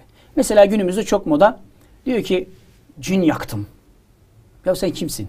Ne cini yakması abi? Şuna benziyor abi. Ben canım sıkıldı işte Hüseyin abi öldürdüm. Niye öldürdün? Beğenmedim yani. Ya ne alaka abi yani bu e, öldürmek değil mi ya? Cin yakmak da öldürmektir. Ha, gerçekten yakıyorlar mı orası da tartışılır ama kelime anlamı Ya bu itibariyle kadar söylüyorum. basit mi yani? Değil tabii ki. Bravo sana ya. Değil tabii ki. Yani bir cini öldürdüm demekle insanı öldürdüm demek aynı aynı. Şimdi sen bu dünyada fiziki dünyada bir cini öldürdüm deyince adalet sistemi sana ceza vermiyor. O yüzden rahatsın. Ama gerçekten bir cini öldürdüysen ilahi sistem bunu affetmeyecek. Suçsuz yere hiç kimseyi öldüremezsin. Bu cin de olsa. Ayrıca sen cini niye öldüresin ya? Neden yani? Evet. Eğer bir hata yaptı ise becerikli bir hocaysa metafizik uzmanıysa hoca demeyelim. Becerikli bir metafizik uzmanıysa cini yakmaz zaten. Cini alır insanın bedeninden kendi yanındaki hadime teslim eder. Onların hapishanesi var kardeşim. Cezalandırma yerleri var kardeşim. Götürür orada cezalandırmasını sağlar. Yakmak ne ya? Tamam kardeşim ben senin cinini yaktım diyor. Yok öyle bir şey yani. Şimdi eee Taberani anlatıyor. Orada e, aynı zamanda şey var. El Azamete Ebu Şeyh var. O da anlatıyor. Onun rivayetinde de var. E, Allah Resulü yine bir yerden bir yere gidiyor. E, sefer esnasında. Abdest alacak mübarek. Ay kurban oldum. Keşke onun devrinde yaşasaydık. Devrinde yaşamayı istediğim insanlardan bir tanesi. E, bir de Hazreti Ali'nin devrinde yaşamayı çok isterdim. İlim erbabı ya. Ya ne ilimler vermiş Rabbim. Kesinlikle hocam. Yani ona verdiği ya Ebu Hureyre yanlış hatırlamıyorsam e, ondan e, anlatılıyor. Hatta şey e, Cübbeli Ahmet Hoca da anlatıyordu bunu. Ondan da duymuştum. E, yine e, bizim eski hocalardan biri var. İsmi aklıma gelmedi hmm, adamın. O da anlatıyordu bunu. Ebu Hureyre işte vaaz ediyor. Vaaz, eder, vaaz ederken diyor ki ilim diyor iki türlüdür. Bak ilim iki türlüdür. Abi ya cümleye bak muazzam ya. Diyor ki ilim iki türlüdür. Bir tanesini aldım. Bak aldım. Size yaydım. Herkese yaydım. Birini diyor gizledim. Cemaat diyor ki efendim niye gizledin? Hani anlat. Hani bu cemaat zaten hani sizin saf cemaatiniz, özünüz. Evet. Dışarıya anlatma ama bize anlat. Diyor ki yok. Birini aldım, birini yaydım. Diğerini, ikincisini yayarsam siz ve, ve bu ümmeti İslam beni boğazımdan keser. Allahu Ekber ya. Bu ne demek? Abi bu ne demek biliyor musun? Bu havas demek. Bu havas demek. Gizli ilim demek. Bunu inkar etmeye gerek yok. Böyle bir ilim var. Hani sen diyebilirsin ya hocam beş vakit namaz kıl, orucunu tut, hacca git, emir ve yasaklardan sakın. E yeter daha ne uğraşıyorsun havasla diyebilirsin. Hakkın de tabii ki. Diyenler var bana bize ya da bu programı izleyenlere de söyleyenler var. Ama Öbür taraftan da Kur'an-ı Kerim bana tam tersini söylüyor abi. En baştan ikra dedi, beni kitledi. Oku dedi. Peki bugün oku diyen yarın okudun mu diye sormayacak mı? Düşün diyen yarın düşündün mü diye sormayacak mı? Mesela Kur'an-ı Kerim'de e, sema ile ilgili bir sürü ayetler var. O ayetlerin içerisinde e, bakıp da ders almaz mısınız diyor. E şimdi sadece Kur'an okumak yetti mi o zaman? Amel etmek lazım abi. Kur'an okumak yetmez. Amel etmek lazım. Gökyüzünde Rabbimin nimetleri neden var? Neden Hazreti Yusuf rüyasında e, ey babacım bana bir elimde güneş bir elimde ay ve 11 tane gezegen var dedi. Daha o zaman gezegenler keşfedilmemişti bile. Niye dedi? Allah bize bir şeyleri işaret etti çünkü. Kesinlikle öyle. Mesela bugün geçen yine programda anlattık seninle beraber. Hazreti Süleyman'ın tahtı nasıl gelmişti abi? Işınlanarak geldi. Işınlanarak geldi. Bilim yeni yeni daha atomun parçacıklarını ışınlamayı bece- becerdi. Olacak. ışınlamayı da yapacaklar. Ama bak bu Allah'ın ilmi. Bu da havas işte. Bak bu da havas. Havas gizli ilim demek. Ve ortaya çıkarılması beklenen ilim demek. Elbette ki ortaya çıkarılacak. Bu Allah'ın ilmi bizlere sunuldu. Onları araştırmak da bizim görevimiz. Şimdi toparlayayım. Allah Resulü eee, işte abdest alacak. Abdest suyunu götüren e, Bilal bin Haris isimli bir sahabe. Peygamber Efendimizin hizmetinde olan e, bir mübarek. E, işi bitince suyu veriyor. Garip bir şeyler oluyor ama orada. Aklına takılıyor. Bilal bin Haris'in geri geliyor. Allah Resulü abdestini alıyor. Ondan sonra Allah Resulü ile geliyor. Diyor ki Allah Resulüne ya Resulallah diyor bir şey soracağım ama diyor yani beni bağışlayın çok diyor merak ettim. Sor, bakalım diyor. Ben diyor hani yanınıza getirdim ya abdest suyu size su verdim. Evet. Geldiğimde diyor çok garip diyor acayip diyor bir sesler duydum. Ama sadece ben mi duydum? Siz mi duydunuz bilmiyorum. Lakin bak burası mühim. Lakin sizin de ağzınızı oynatarak onlara cevap verdiğinizi duydum. Gördüm. Bu nedir ya Resulallah diyor. Allah Resulü cevap veriyor. Ee, diyor ki yanımda Müslüman cinlerle müşrik olan cinler vardı. Geldiler beni bir konu için hakem tuttular. Abi güzelliğe bakar mısın ya Müslüman cinler var. Orada Allah Resulü var. Aralarında husumet var. Diyorlar ki bir dakika bak orada Allah Resulü var. Gide, o yalan konuşmaz. Muhammedül Emin çünkü. Gidelim ona soralım. Diyorlar Evet. geliyorlar. Mübarek de bunların sesini duyuyor. Ee, Peygamber Efendimiz diyor ki ben de diyor onlara hakemlik yaptım. Bu hakemlik neticesinde e, Müslüman olan cinleri El Cules'e gönderdim. El Cules'e gönderdim. E, müşrik olan cinleri de e, şeye gönderdim. El Gavra'ya gönderdim diyor. Tabi Bilal bin Haris şaşırıyor. İlk defa duyduğu şey Cules, Gavra falan. Bunlar ne? Yani ne? Bir yer ismi mi? Bravo. Diyor ki ya Resulallah ben diyor bunları ilk defa duydum. Bunlar ne? Kim? Hani neresi bunlar? Böyle bir yerde bilmiyorum ben bu kadar yıldır. Hani buralardayım, bu topraklardayım. Diyor ki El Cules. Bak burası çok önemli yer burası işte. Hani meskenler ner- neresi diye sorduk Evet. ya. El Cules diyor. e, köy ve köylere yakın yerler. Yani insanlara yakın olan yerler. Niye peki? Müslüman cinler ne demek abi Müslüman cinler? Allah'ın Adem'e secde edin buyruğuna riayet etmiş ve kabul etmiş. Kur'an'a iman etmiş. Allah'a inanan cinler demek. Dolayısıyla geçen programda yine anlattık. Müslümanlar kardeştir diyor. Yani cin, insan kardeştir demiyor. Müslümanlar kardeştir diyor. Evet. Dolayısıyla Allah Resulü diyor ki el culese ben bu Müslüman cinleri yerleştirdim ki bu cinler birbirinizin kardeşisiniz ya birbirinize hizmet edin. İyi, doğruyu birbirinize öğütleyin diyor. El Gavra'da dağlarla denizlerin arasındaki bir yerdir diyor. Müşrik olan cinleri de oraya gönderdim diyor. Size musallat olmasın diye. Yani eee, İmam Şibli ya da İmam Suyuti gibi eee ilim erbapları, bu konuda da tasarruf sahipleri her zaman cinlerin meskenini Müslüman olanları insanlara yakın demiştir. Müşrik olanlar da insanlara uzak demiştir. Hatta onlar için köhne yerlerde yaşar derler. Yani metruk yerlerde yaşar derler. Ee, bizle beraber insanların içinde bulunanlar elbette ki var. Mesela akşam hanımın pilav yapıyor abi. İçeride yemek yiyorsun. Sofrayı topluyor, götürüyor, pilavı açık bir şekilde tezgaha bırakıyor. Oo, cinler ziyafet çekiyor sabaha kadar. Aa, değme keyiflerine. Ya da soğan soyuyor. Çok severler soğan kabuğunu. Ha bir de şey var mesela onu da söyleyeyim. Soğan kabuğu cinlerin parasıymış. Öyle bir şey yok. Hocam inanın şu an önümde Farkındayım. geçen hafta da biliyorum biliyorum. bu soru gelmişti. Yine Evet. aynısı var hocam. Görmediğim halde biliyorum.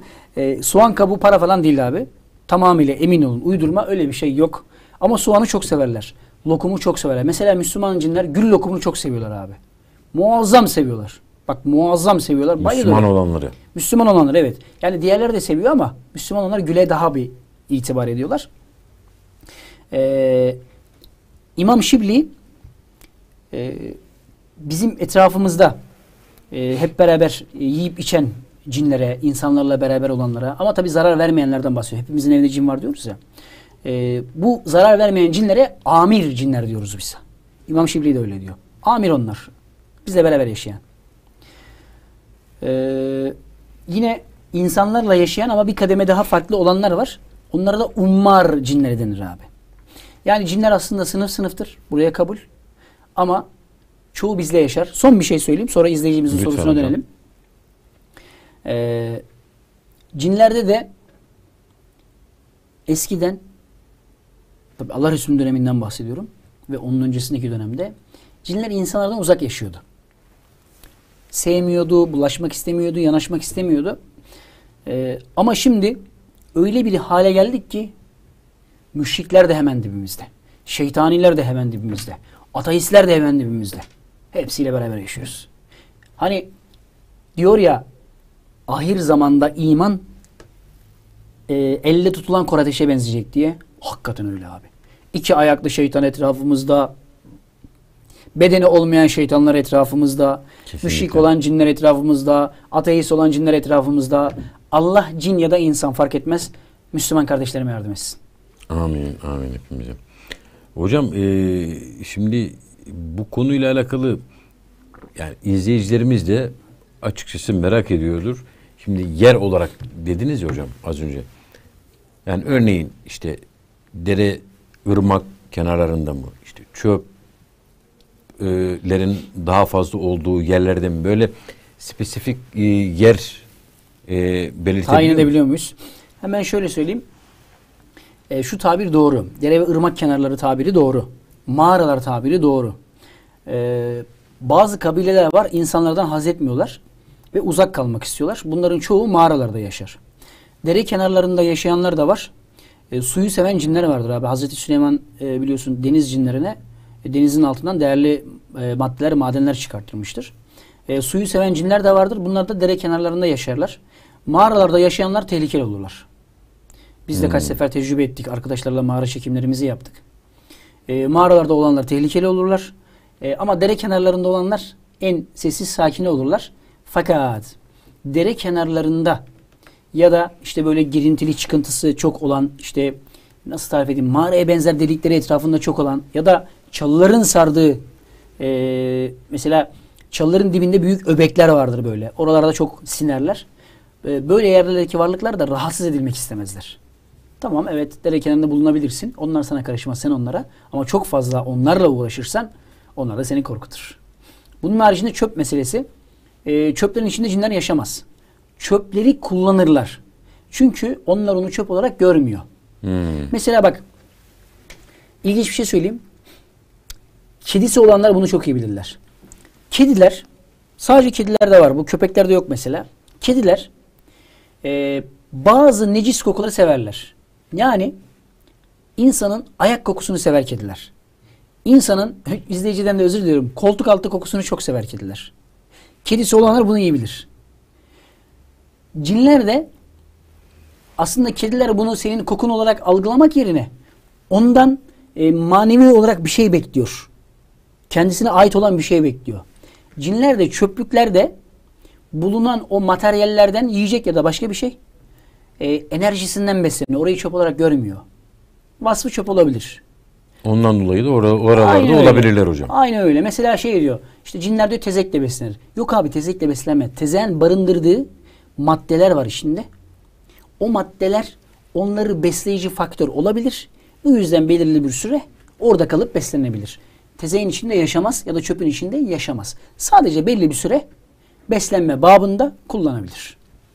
Hocam e, izleyicimiz demiş ki gözünü kapatınca uyumadan evvel tuhaf varlıklar görmek insana da benzer veya benzemez renkli kalabalık bunlar cinler olabilir mi? O arkadaşa cevap vermeden devam var mı? Devamında şunu demiş hocam. Ee, ben eskiden cin kelimesinden bile ürperiyordum. Ama Kürşat hocamı izledikten sonra Allah razı olsun. korkum kalmadı. İlginç demiş. Ee, teşekkür ediyorum. Sayenizde korkmuyorum demiş hocam. Eyvallah Allah razı olsun. İşte bizim istediğimiz bu. Korkmaya gerek yok abi. Onlar bizden korksunlar. Birazdan da ya da bir sonraki gelecek haftada cinlerin e, korkup korkmayacağı konusunu masaya yatıralım Allah'ın izniyle. Tamam Şimdi hocam. bu kardeşe ben cevap vermiyorum. Başka bir şey söylüyorum. Hani renkli varlıklar görmüş ya. Bize Evet. şunu yazsın. Zikir çekiyor mu, çekmiyor mu? Namazlarını kılıyor mu, kılmıyor mu? Bu sorulara cevap versin. Ben de ona ona ona göre cevap vereceğim. Başka soru varsa alabiliriz. Tamam Bu hocam. arada yayın arasında bir soru gelmişti. Ona da cevap vereyim. Şu e, Hocam cin Evet. meselesi. az kullan- kullanılacak cin meselesi. De hocam bu ya gerçekten tuhaf bana da geldi. Az kullanılmış cin. Ne demek hocam? yani Tabii o kardeş espri yapmış. Ee, az kullanılmış cin diye bir şey olmaz. Az kullanılmış insan var mı abi? Şimdi birileri diyecek ki var abi ben yorulmuşum diyecek. ya da ben yorulmamışım diyecek. Tabii ki o kardeşimiz espri yapmış ama ben sana daha ilgincini söyleyeyim.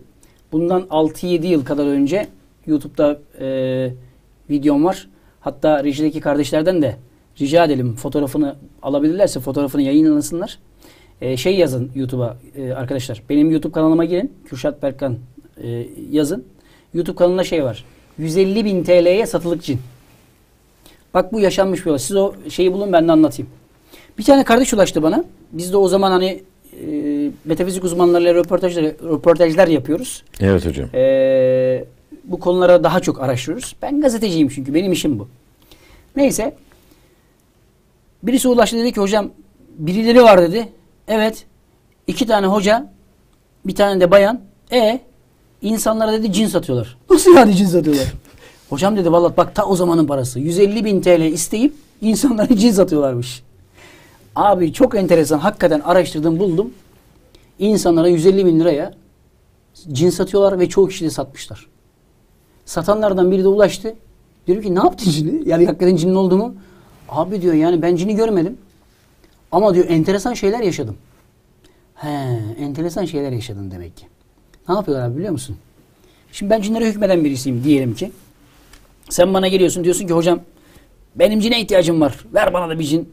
Gönder bir tane gelsin. Böyle olmuyor tabii de. Evet. E, cini buluyorlar abi. Seninle anlaşma yapıyorlar. Diyor ki sana 150 bini ortaya koy abi. Koydun mu? Koydum. Ay Allah bereket versin. Aldık diyor 150 bini. Aldıktan sonra sana mühürleme işlemi yapıyor. İşte cini alıyor. Cini veriyor. Diyor ki bu cin artık bundan sonra senin. Sen bir şey görmüyorsun. Duymuyorsun da. Hissediyorsun. Çünkü bir enerji o ya. Tüylerini diken diken ediyor falan filan. Cini görüyorsun. Sonra sana bazı komutlar verdiriyorlar. Şimdi nasıl olduğunu anlatmayayım da e, farklı yere gitmesin konu. Komutlar verdiriyorlar sana. Sen komutları veriyorsun. Verdiğin komutlar yerine geliyor. Wow işte bak diyorsun cin var. En basitini söyleyeyim mesela. Kağıda alıyor eline kağıdı. Kağıdın arkasına yazıyor şimdi. Kaç yazdı? 34 yazdı.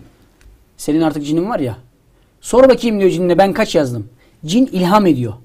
Ee, evet net gözüküyor mu? Evet bravo harikasınız ya. Bu mu hocam? Evet aynen aynen. Yani şu cini 150 bin TL'ye satmışlar abi insanlara düşünebiliyor musun? Ya bu olay gerçek ha. Bak hani şey değil mübalağa etmiyoruz sevgili izleyiciler. Ee, sahtekarlar hakikaten de insanları mağdur edip 7-8 yıl önce galiba bunu yayınlamıştım. Bu bu e, ekranda gördüğünüz arkadaşı bu bir maymun bu arada. Maymun türü bu. Cin falan değil. Bu maymun türünü videoya çekiyorlar. Videoya çektikten sonra diyorlar ki bu bir cin. Biz bunu bir kere yakaladık.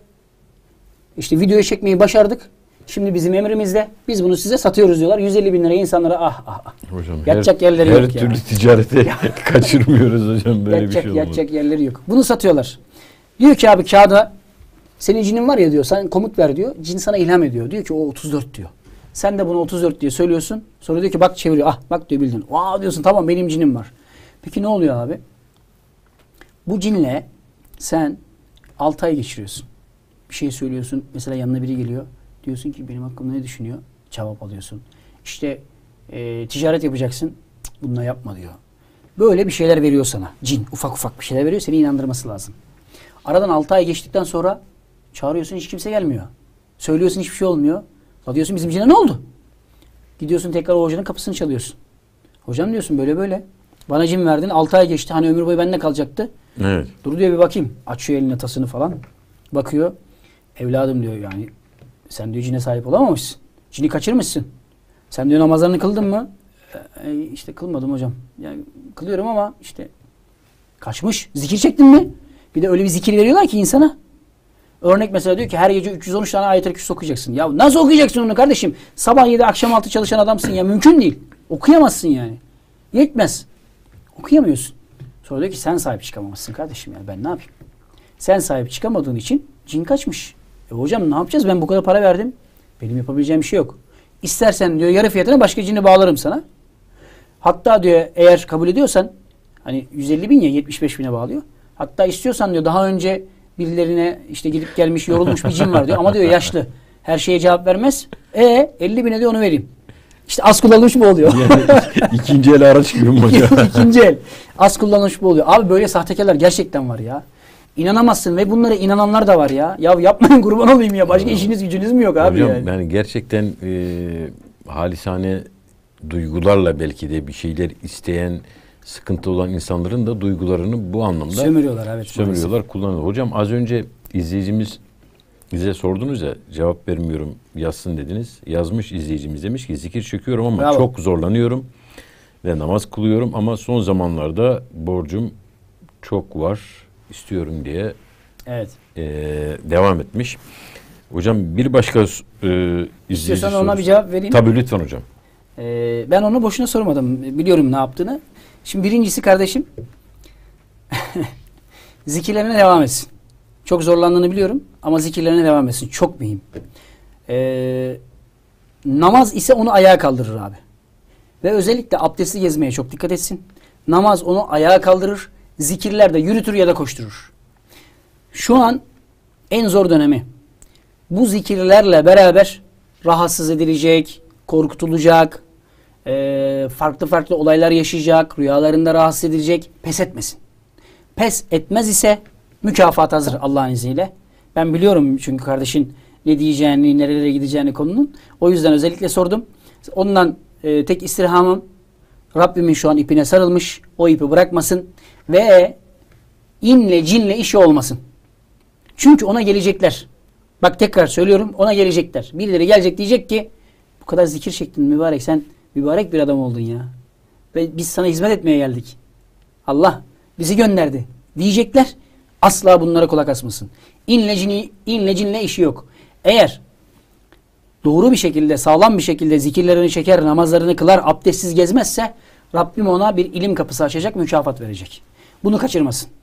Ama cinlere inanırsa ben senin hizmetine girmeye geldim diye gelecek ona birileri. Sarıklı cübbeli gelecek hatta. İnanmasın kardeşim. İnle cinle işi ol- olmasın. İnle cinle işi olursa kaybedenlerden olur. Zat-ı muhteremin bir tanesi. Bak bu güzel bir hikayedir. Kabe'ye gidiyor. Giderken yanında şeytan var. Şeytan uğraşıyor onunla. Saptıracağım diye. İşi bu adamın kardeşim. Evet. Saptıracağım diye uğraşıyor. Daha vaktimiz var herhalde. Yok 15 dakikamız kalmış. Var hocam. Ee, saptıracağım diye uğraşıyor. Bakıyor olacak gibi değil. Geliyor sürekli nefsini bir- nefsine bir şeyler yapıyor. Sen şöylesin, sen böylesin, sen ne mübarek adamsın. Püf diyor şu konuşan adam var ya. Hani Kabe'de anlatanlar var ya anlatıcılar. İşte oradaki bölgeleri. Bu diyor konuşan adam diyor hiçbir şey bilmiyor. Sen ondan diyor 10 kat biliyorsun. Çık sen anlatsana falan. Böyle sürekli nefsine oynuyor mübareğin. Mübarek işte o vaaz eden adam sözünü bitiriyor. Sözünü bitirdiğinde diyor ki soracak sorusu olan var mı? Bu garibimin elinde bir tane küçük bir ekmeği var. Böyle kaldırıyor elini. Ben varım diyor. Buyur diyor. Benim diyor bir tane ekmeğim var. Bir tane ekmeğim var. Eğer diyor bana bir ekmek dahi veren olursa Ben diyor bütün sevaplarımı satıyorum ona. Herkes bir kendine delirmiş bu falan diye. Sevap satılır mı falan? Satıyorum kardeşim diyor. Bütün sevaplarımın hepsini satıyorum diyor. Ben diyor günahkarım. Bak ben günahkarım. Bu Allah'ın veli kulu. Bu Allah'ın dostu. Sevap satılır mı? Nasıl satılır anlatacağım. Ben diyor bütün sevaplarımı satıyorum. Alan var mı kardeşim? Hepsini diyor satıyorum. Çok namaz kıldım, çok zikir çektim. Hepsini satıyorum. Bir ekmek karşılığında. Vatandaşın biri çıkıyor. Ben diyor alıyorum. Al diyor sana iki ekmek. Alıyor. Helal ettim diyor. Sevaplarım senin olsun. Sonra çıkıyor oradan gidiyor. Şeytana dönüyor. Az önce diyor sevaplarından beni vuruyordun. Şeytan ona en sonunda şey diyor çünkü. Bütün gökler diyor melekler senin adını aykırıyor. Sen o kadar diyor sevaplarına dolmuş taşmışsın diyor. İşte en son sevabı verdikten sonra diyor ki bana bir sevabım kalmıştı. Oradan vuruyordun. Hadi bakayım diyor sevapları da sattım. Vur bakayım diyor şimdi nereden vuracaksın? Şeytan diyor ki vallahi seninle uğraşılmaz. yani orada aslında bir sevap satmıyor. Nefsini öldürüyor. Evet. Şimdi bu kardeşe de nefsini öldürmesi için zikir namaz. Ama nefsini kışkırtması için de gelecekler. Sarıklı gelecek, cübbeli gelecek, işte nurlu gelecek. Ama pes etmek yok. Allah'ın ilminden ayrılmak yok. Allah'ın ilmi cinden daha kuvvetli. Allah'ın ilmi insanın kötülüğünden daha kuvvetli. Allah'ın ilmi kazadan beladan daha kuvvetli. Rabbimin ilim e, ipine sarılırsak inşallah Rabbim bize nice kapılar açar diyoruz. Buyurun hocam. İnşallah hocam. Ee, değerli izleyiciler e, programımızın artık son 15 dakikasına girdik. Hocam kitabımızı bir kez daha duyurmak istiyorum müsaadenizle. Ee, Kürşat Berkan hocamızın Harp Silahı ve Nikola Tesla kitabını e, bu akşam göndereceğiz. Hocamızın imzasıyla e, 0543 366 50 50'ye cinler neden yaratılmıştır? Yani hangi maddeden yaratılmıştır? E, artık son 15 dakika cevaplarınızı gönderebilirsiniz. Birazdan da zaten e, yönetmenim de e, ilk herhalde cevabı gönderen kişiyi belirleyip ismini de bize yazacak. Biz de programın sonunda bunu Orada duyur- bir ricada bulunalım ya yönetmenimizden. İlk cevabı gönderene değil de arasından kura yapsınlar. Bir çek- çekiliş e, yapsınlar. Tamam yönetmenimiz o zaman e, belirlesin. Hı hı. Kürşat hocamızın dediği gibi e, bize yazsın biz de e, dillendirelim. Hocam izleyicimiz demiş ki hocam birkaç yıl önce akşam vakti kendi odamda boynuzları olan gözleri alev alev yanan bembeyaz dişleri olan simsiyah bir varlık görmüşüm, görmüştüm. Bunun neden olduğunu ve neden bana göründüğünü anlatabilir misiniz? Şimdi bir, cinin nasıl göründüğü ya da şeytanın nasıl göründüğünün hiçbir önemi yok. Boynuzlu görür, kanatlı görür, pelerinli görür, şapkalı görür, yılan görür, fare görür, görür de görür. Bunun hiçbir önemi yok. Ben nasıl göründüğüyle ilgilenmem. Görünüp görünmediğiyle ilgilenirim. Hakeza gerçekten böyle bir varlık göründüyse kişi bir kendini sorgulayacak. iki anne ya da babasını sorgulayacak. Çünkü bazen bizim yaptığımız hataların bedelini evlatlarımız öder. Bu bir korkutulma muhtemelen. Eğer devamında bir sıkıntı yaşamadılarsa kendisi ya da anne babası ailesi devamında buna benzer olaylar yaşamadılar ise bu sıradan bir korkutma olabilir. Örnek veriyorum o gün biraz fazla ilimle uğraşmıştır, zikir çekmiştir, namaz kılmıştır. Korkutmak istemiştir, caydırmak için. Ya da farklı bir şey yapmıştır. Onun için gelmişlerdir. Ya da bir büyük günah işlemiştir. O yüzden gelmişlerdir. Yani bunun sebepleri çok. Önemli olan bu görüntüden sonra tekraren bir şeyler oldu mu olmadı mı? Olduysa o zaman iş farklı yerlere gidebilir. Yani tek bir nokta üzerinde durmamak lazım diyorsunuz Kesinlikle. hocam. Büyü olabilir, musallat olabilir, farklı bir şey olabilir. E, kendine kapı açmış olabilir. Menfes kapıları diyoruz biz onlara. Menfes kapılarını açmış olabilir. E, o yüzden hani ben varlık gördüm acaba ben de cin mi? Hayır abi bir varlık gördün diye cin olmaz. Bunlar garip insan, garip varlıklar. Sen eğer yani bu arada hani kimseyi rencide etmek için söylemiyorum ama e, insan yapısı gereği korkak olduğumuz e, bazı hususlar var. Mesela bazı insanlar gece karanlıkta uyuyamaz. Korkar Evet. gece karanlıktan ama gündüz aslan kesilir. Yani şimdi bu insana ya sen korkaksın falan diyebilir miyiz? Diyemeyiz abi. Onun zayıf noktası orası. İşte bir cin onun zayıf noktasını sezip de bir seferliğine gelip onu korkutmuş olabilir. Yapıyorlar bunu yani. İnsanlarla dalga geçmek hoşlarına gidiyor. Önceki programlarda ilk programda galiba anlattık hatırlarsın. Ne dedik orada? İşte İnsanlar önce giderlerdi, cinlere sığınırlardı. Ey bu bölgenin sahibi sana sığındım derlerdi. Evet. Allah Resulü'nden sonra bu yasaklandı. Cinler önce insanlardan korkuyordu. Gelecek hafta bu korkma meselesini masaya yatıralım. Cinler önce insanlardan korkuyordu. Sonra baktılar ki insanlar gelip onları sığınıyor. Dediler ki ya bu salaklar biz, bizden daha çok korkuyor. Sonra gittiler insanları korkutmaya, insanlarla dalga geçmeye, oyun oynamaya başladılar. Dolayısıyla bu da onlardan bir tanesi olabilir. Yani çok korkmaya, eğer devamında bir şey olmadıysa çok korkmaya, alırış etmeye gerek yok. Varsa eğer olduysa izleyicimiz bize yazabilir.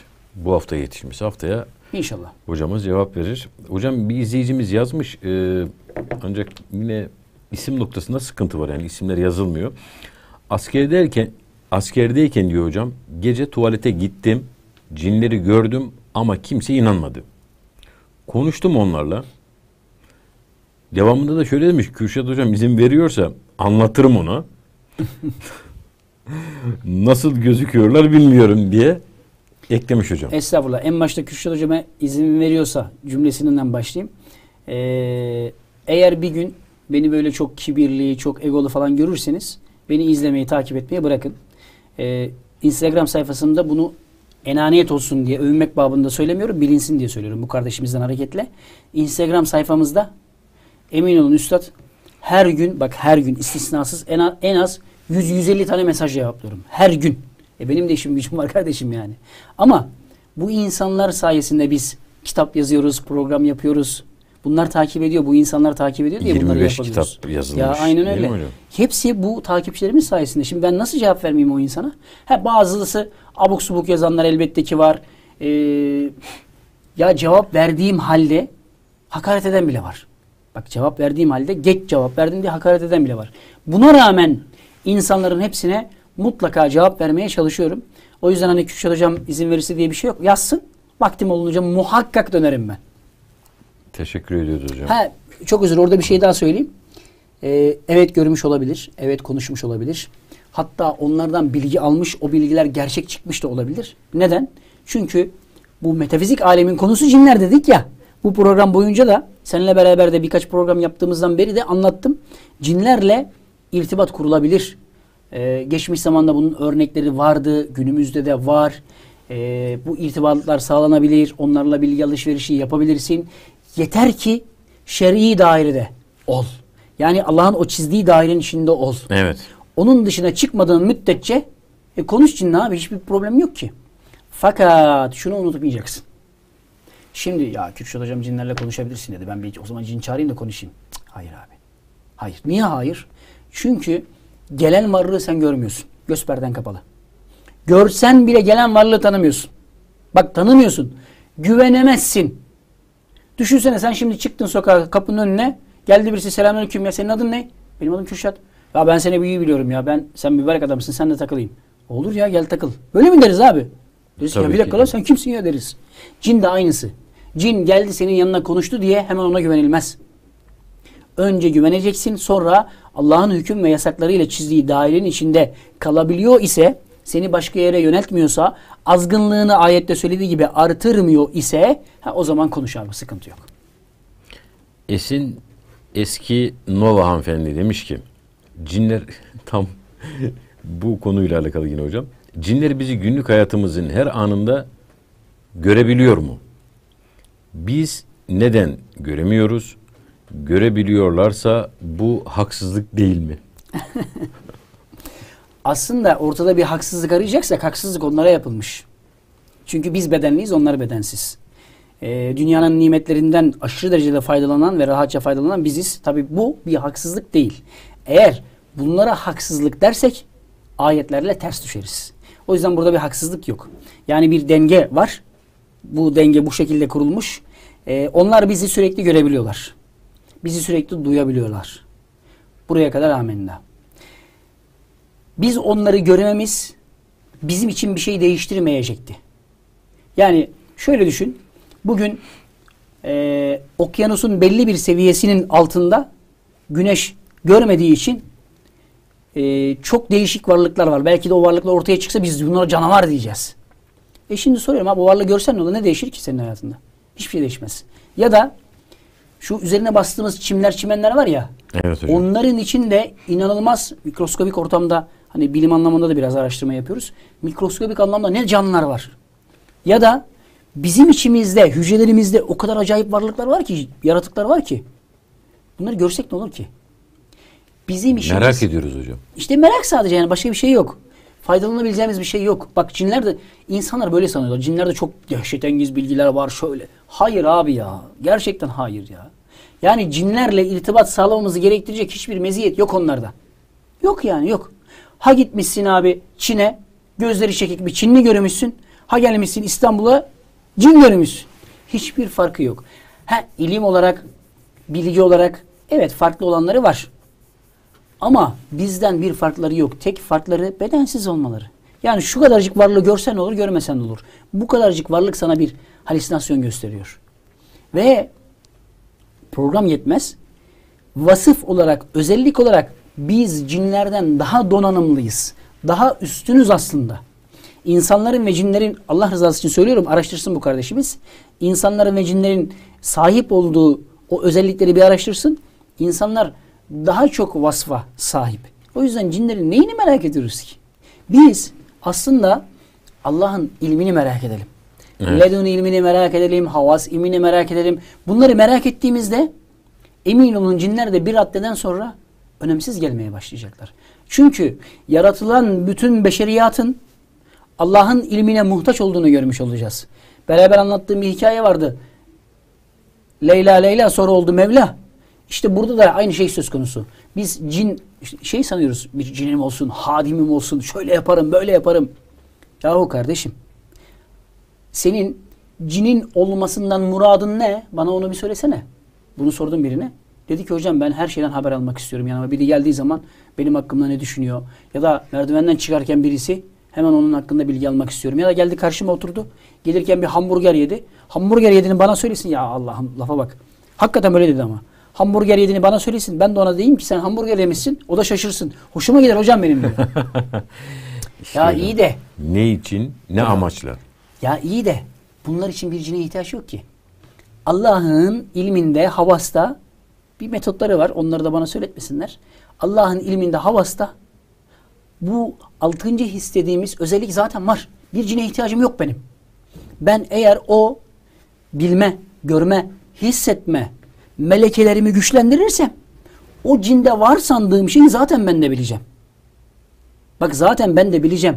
Sen buraya gelmeden önce şu Berat TV'ye kravatsız girdiğini sana söyleyeceğim. Bir cine ihtiyaç duymadan. O ilimle söyleyeceğim. Ama diyorum ki bilmiyorum ya. Ulan diyorum ya bir cinim olsa diyorum. Ya diyorum şu abimize diyorum derim ki sen stüdyoya kravatsız girdin ama geldin burada kravat taktın değil mi? Ha, derim diyorum. ya vallahi cine ihtiyaç yok. Allah'ın ilminde bu var. Havas ilminde bu var. Ve daha niceleri var ya. Mesela söylesem mi? Ya da başka bir şey söyleyeyim. Mesela e, bazı mübarek zatlar bir yerden bir yere çok hızlı giderlermiş. Bir yerden bir yere çok hızlı giderlermiş. Nasıl abi? Adamlar havas ilminin tarifleriyle Allah'ın tabiatta verdiği bazı materyalleri kullanarak kendilerine çarık yapıyorlardı. Bak kendilerine çarık yapıyorlardı ve krem yapıyorlardı. Bunları bacaklarına sürüyorlar. O çarıkları da giyiyorlardı. Çok daha hızlı yürüyorlardı ve yorulmuyorlardı. Allah'ın ilmi sonsuz. Evet. Sen yeter ki o kapıyı açmayı becer. Okuyup araştırmak lazım Aynen öyle. diyorsunuz hocam. Hocam son 2-3 dakikamız. Ee, bir iki soruya da yanıt verelim mi Nasıl hocam. dersin? Hasan Bozkurt beyefendi ee, sormuş hocam. Secde etmeyen iblis hala hayatta mı? Çünkü iblis de cinlerden ya. Evet. Cinlerin de bir yaşam süresi var. Bu nedenle soruyorum demiş Hasan Bey. Şimdi hemen şöyle söyleyelim. Bununla ilgili e, net ayet var abi. E, bir tane değil birkaç tane olduğu için net bir ayetin ismini numarasına gerek olmadan söylüyorum. Birçok ayette Allah sen izin verilenlerdensin diyor. Peki neye izin verilenlerden abi? Neden bunu istemiş şeytan? Şeytan secde etmedikten sonra Allah'a diyor ki madem öyle Allah Celle Celaluhu diyor ki madem öyle bana diyor bana diyor izin ver kıyamete kadar. Bak şey bu kıstas bu. Bana kıyamete kadar izin ver de bak o güvendiğin Adem'i nasılsa Adem soyunu nasıl saptırıyorum gör diyor. Allah da diyor ki uhruç izin verilenlerdensin. Yani ayetle sabit. Sadece şeytan kıyamete kadar yaşayacak. Ee, şu anda da işte e, bazı Evliyaullah'tan zatların söylediği var. Bir beyan var. Bir adada, Deccal başka bir adada, şeytan başka bir adada. Bir adada e, tahtın üzerinde oturup hüküm vermeye devam ediyor ve çok çok yaşlı. Yani kafasını çeviremeyecek kadar yaşlı. Ama onun abi çok enteresan ya bak normal cinlerin Allah'a isyan eden cinler de var. Anlattık ya programda. Evet hocam. Normal bir anne babadan doğan ama daha sonradan işte sapıtan e, bir cin ile şeytanın kendi zürriyetinden o da evlendi barklandı yani.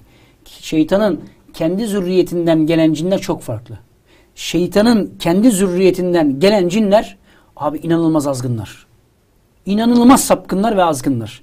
Hatta Illuminati dediğimiz örgütün de içerisinde çağırıp işte e, insanlara böyle daire şeklinde toplayıp ortada bir tane hahamın elinde tuttuğu küçük bir tasa bekaret kanı koyup onunla ayin yaptıkları ve oraya çağırdıkları iblis şeytanın kendi zürriyetinden olan abi. Örgütleri de yönetenler onlar. Hocam e, son bir soru. Bu arada da yönetmenimden rica edeyim kulağıma söylesin e, Kürşat hocamızın kaleminden çıkan kitabı hangi izleyicimize göndereceğimizi. Hocam ağırlıklı olarak e, gelen sorulardan bir tanesi hem toplu bir cevap vermiş oluruz. E, hocam rüyamda sürekli cin görüyorum, korkuyorum. E, rüyamda sürekli korkuyorum ve bundan nasıl korunabiliriz? Hocamızın bununla alakalı bize önerebileceği bir e, ayet, süre var mıdır? Şimdi Dua var üstad, mıdır? Bak bu izleyicimiz kimse şöyle bir şey yapalım. Ben bu soruya cevap vermeyeyim. Neden? Hemen onu söyleyeyim. Bu izleyicimiz bize şunu söylesin. Tabii bu gelecek hafta olacak. Ben de ona güzel bir hem ona hem de diğer izleyicilerimize güzel bir tarif vereyim. Burada şu önemli. Bir, bu her zaman mı yaşanıyor? Yoksa yoksa haftada bir kere, üç ayda bir kere mi yaşanıyor? Bak iyi dinle. İki, bunu yaşarken, rüyada bunu yaşıyorum diyor ya, bunu yaşarken bütün vücudu kas katı kasılıyor ve hareket edemeden mi, donarak mı bunu yaşıyor? Üç, bunu yaşarken, bak bunu yaşarken rüyasına gelen varlık ona ne yapıyor? Yani tek tip mi bir şey görüyor? Yoksa farklı farklı rüyalar, maceralar yaşıyor da korkutuluyor mu? Bunlar çok önemli konular.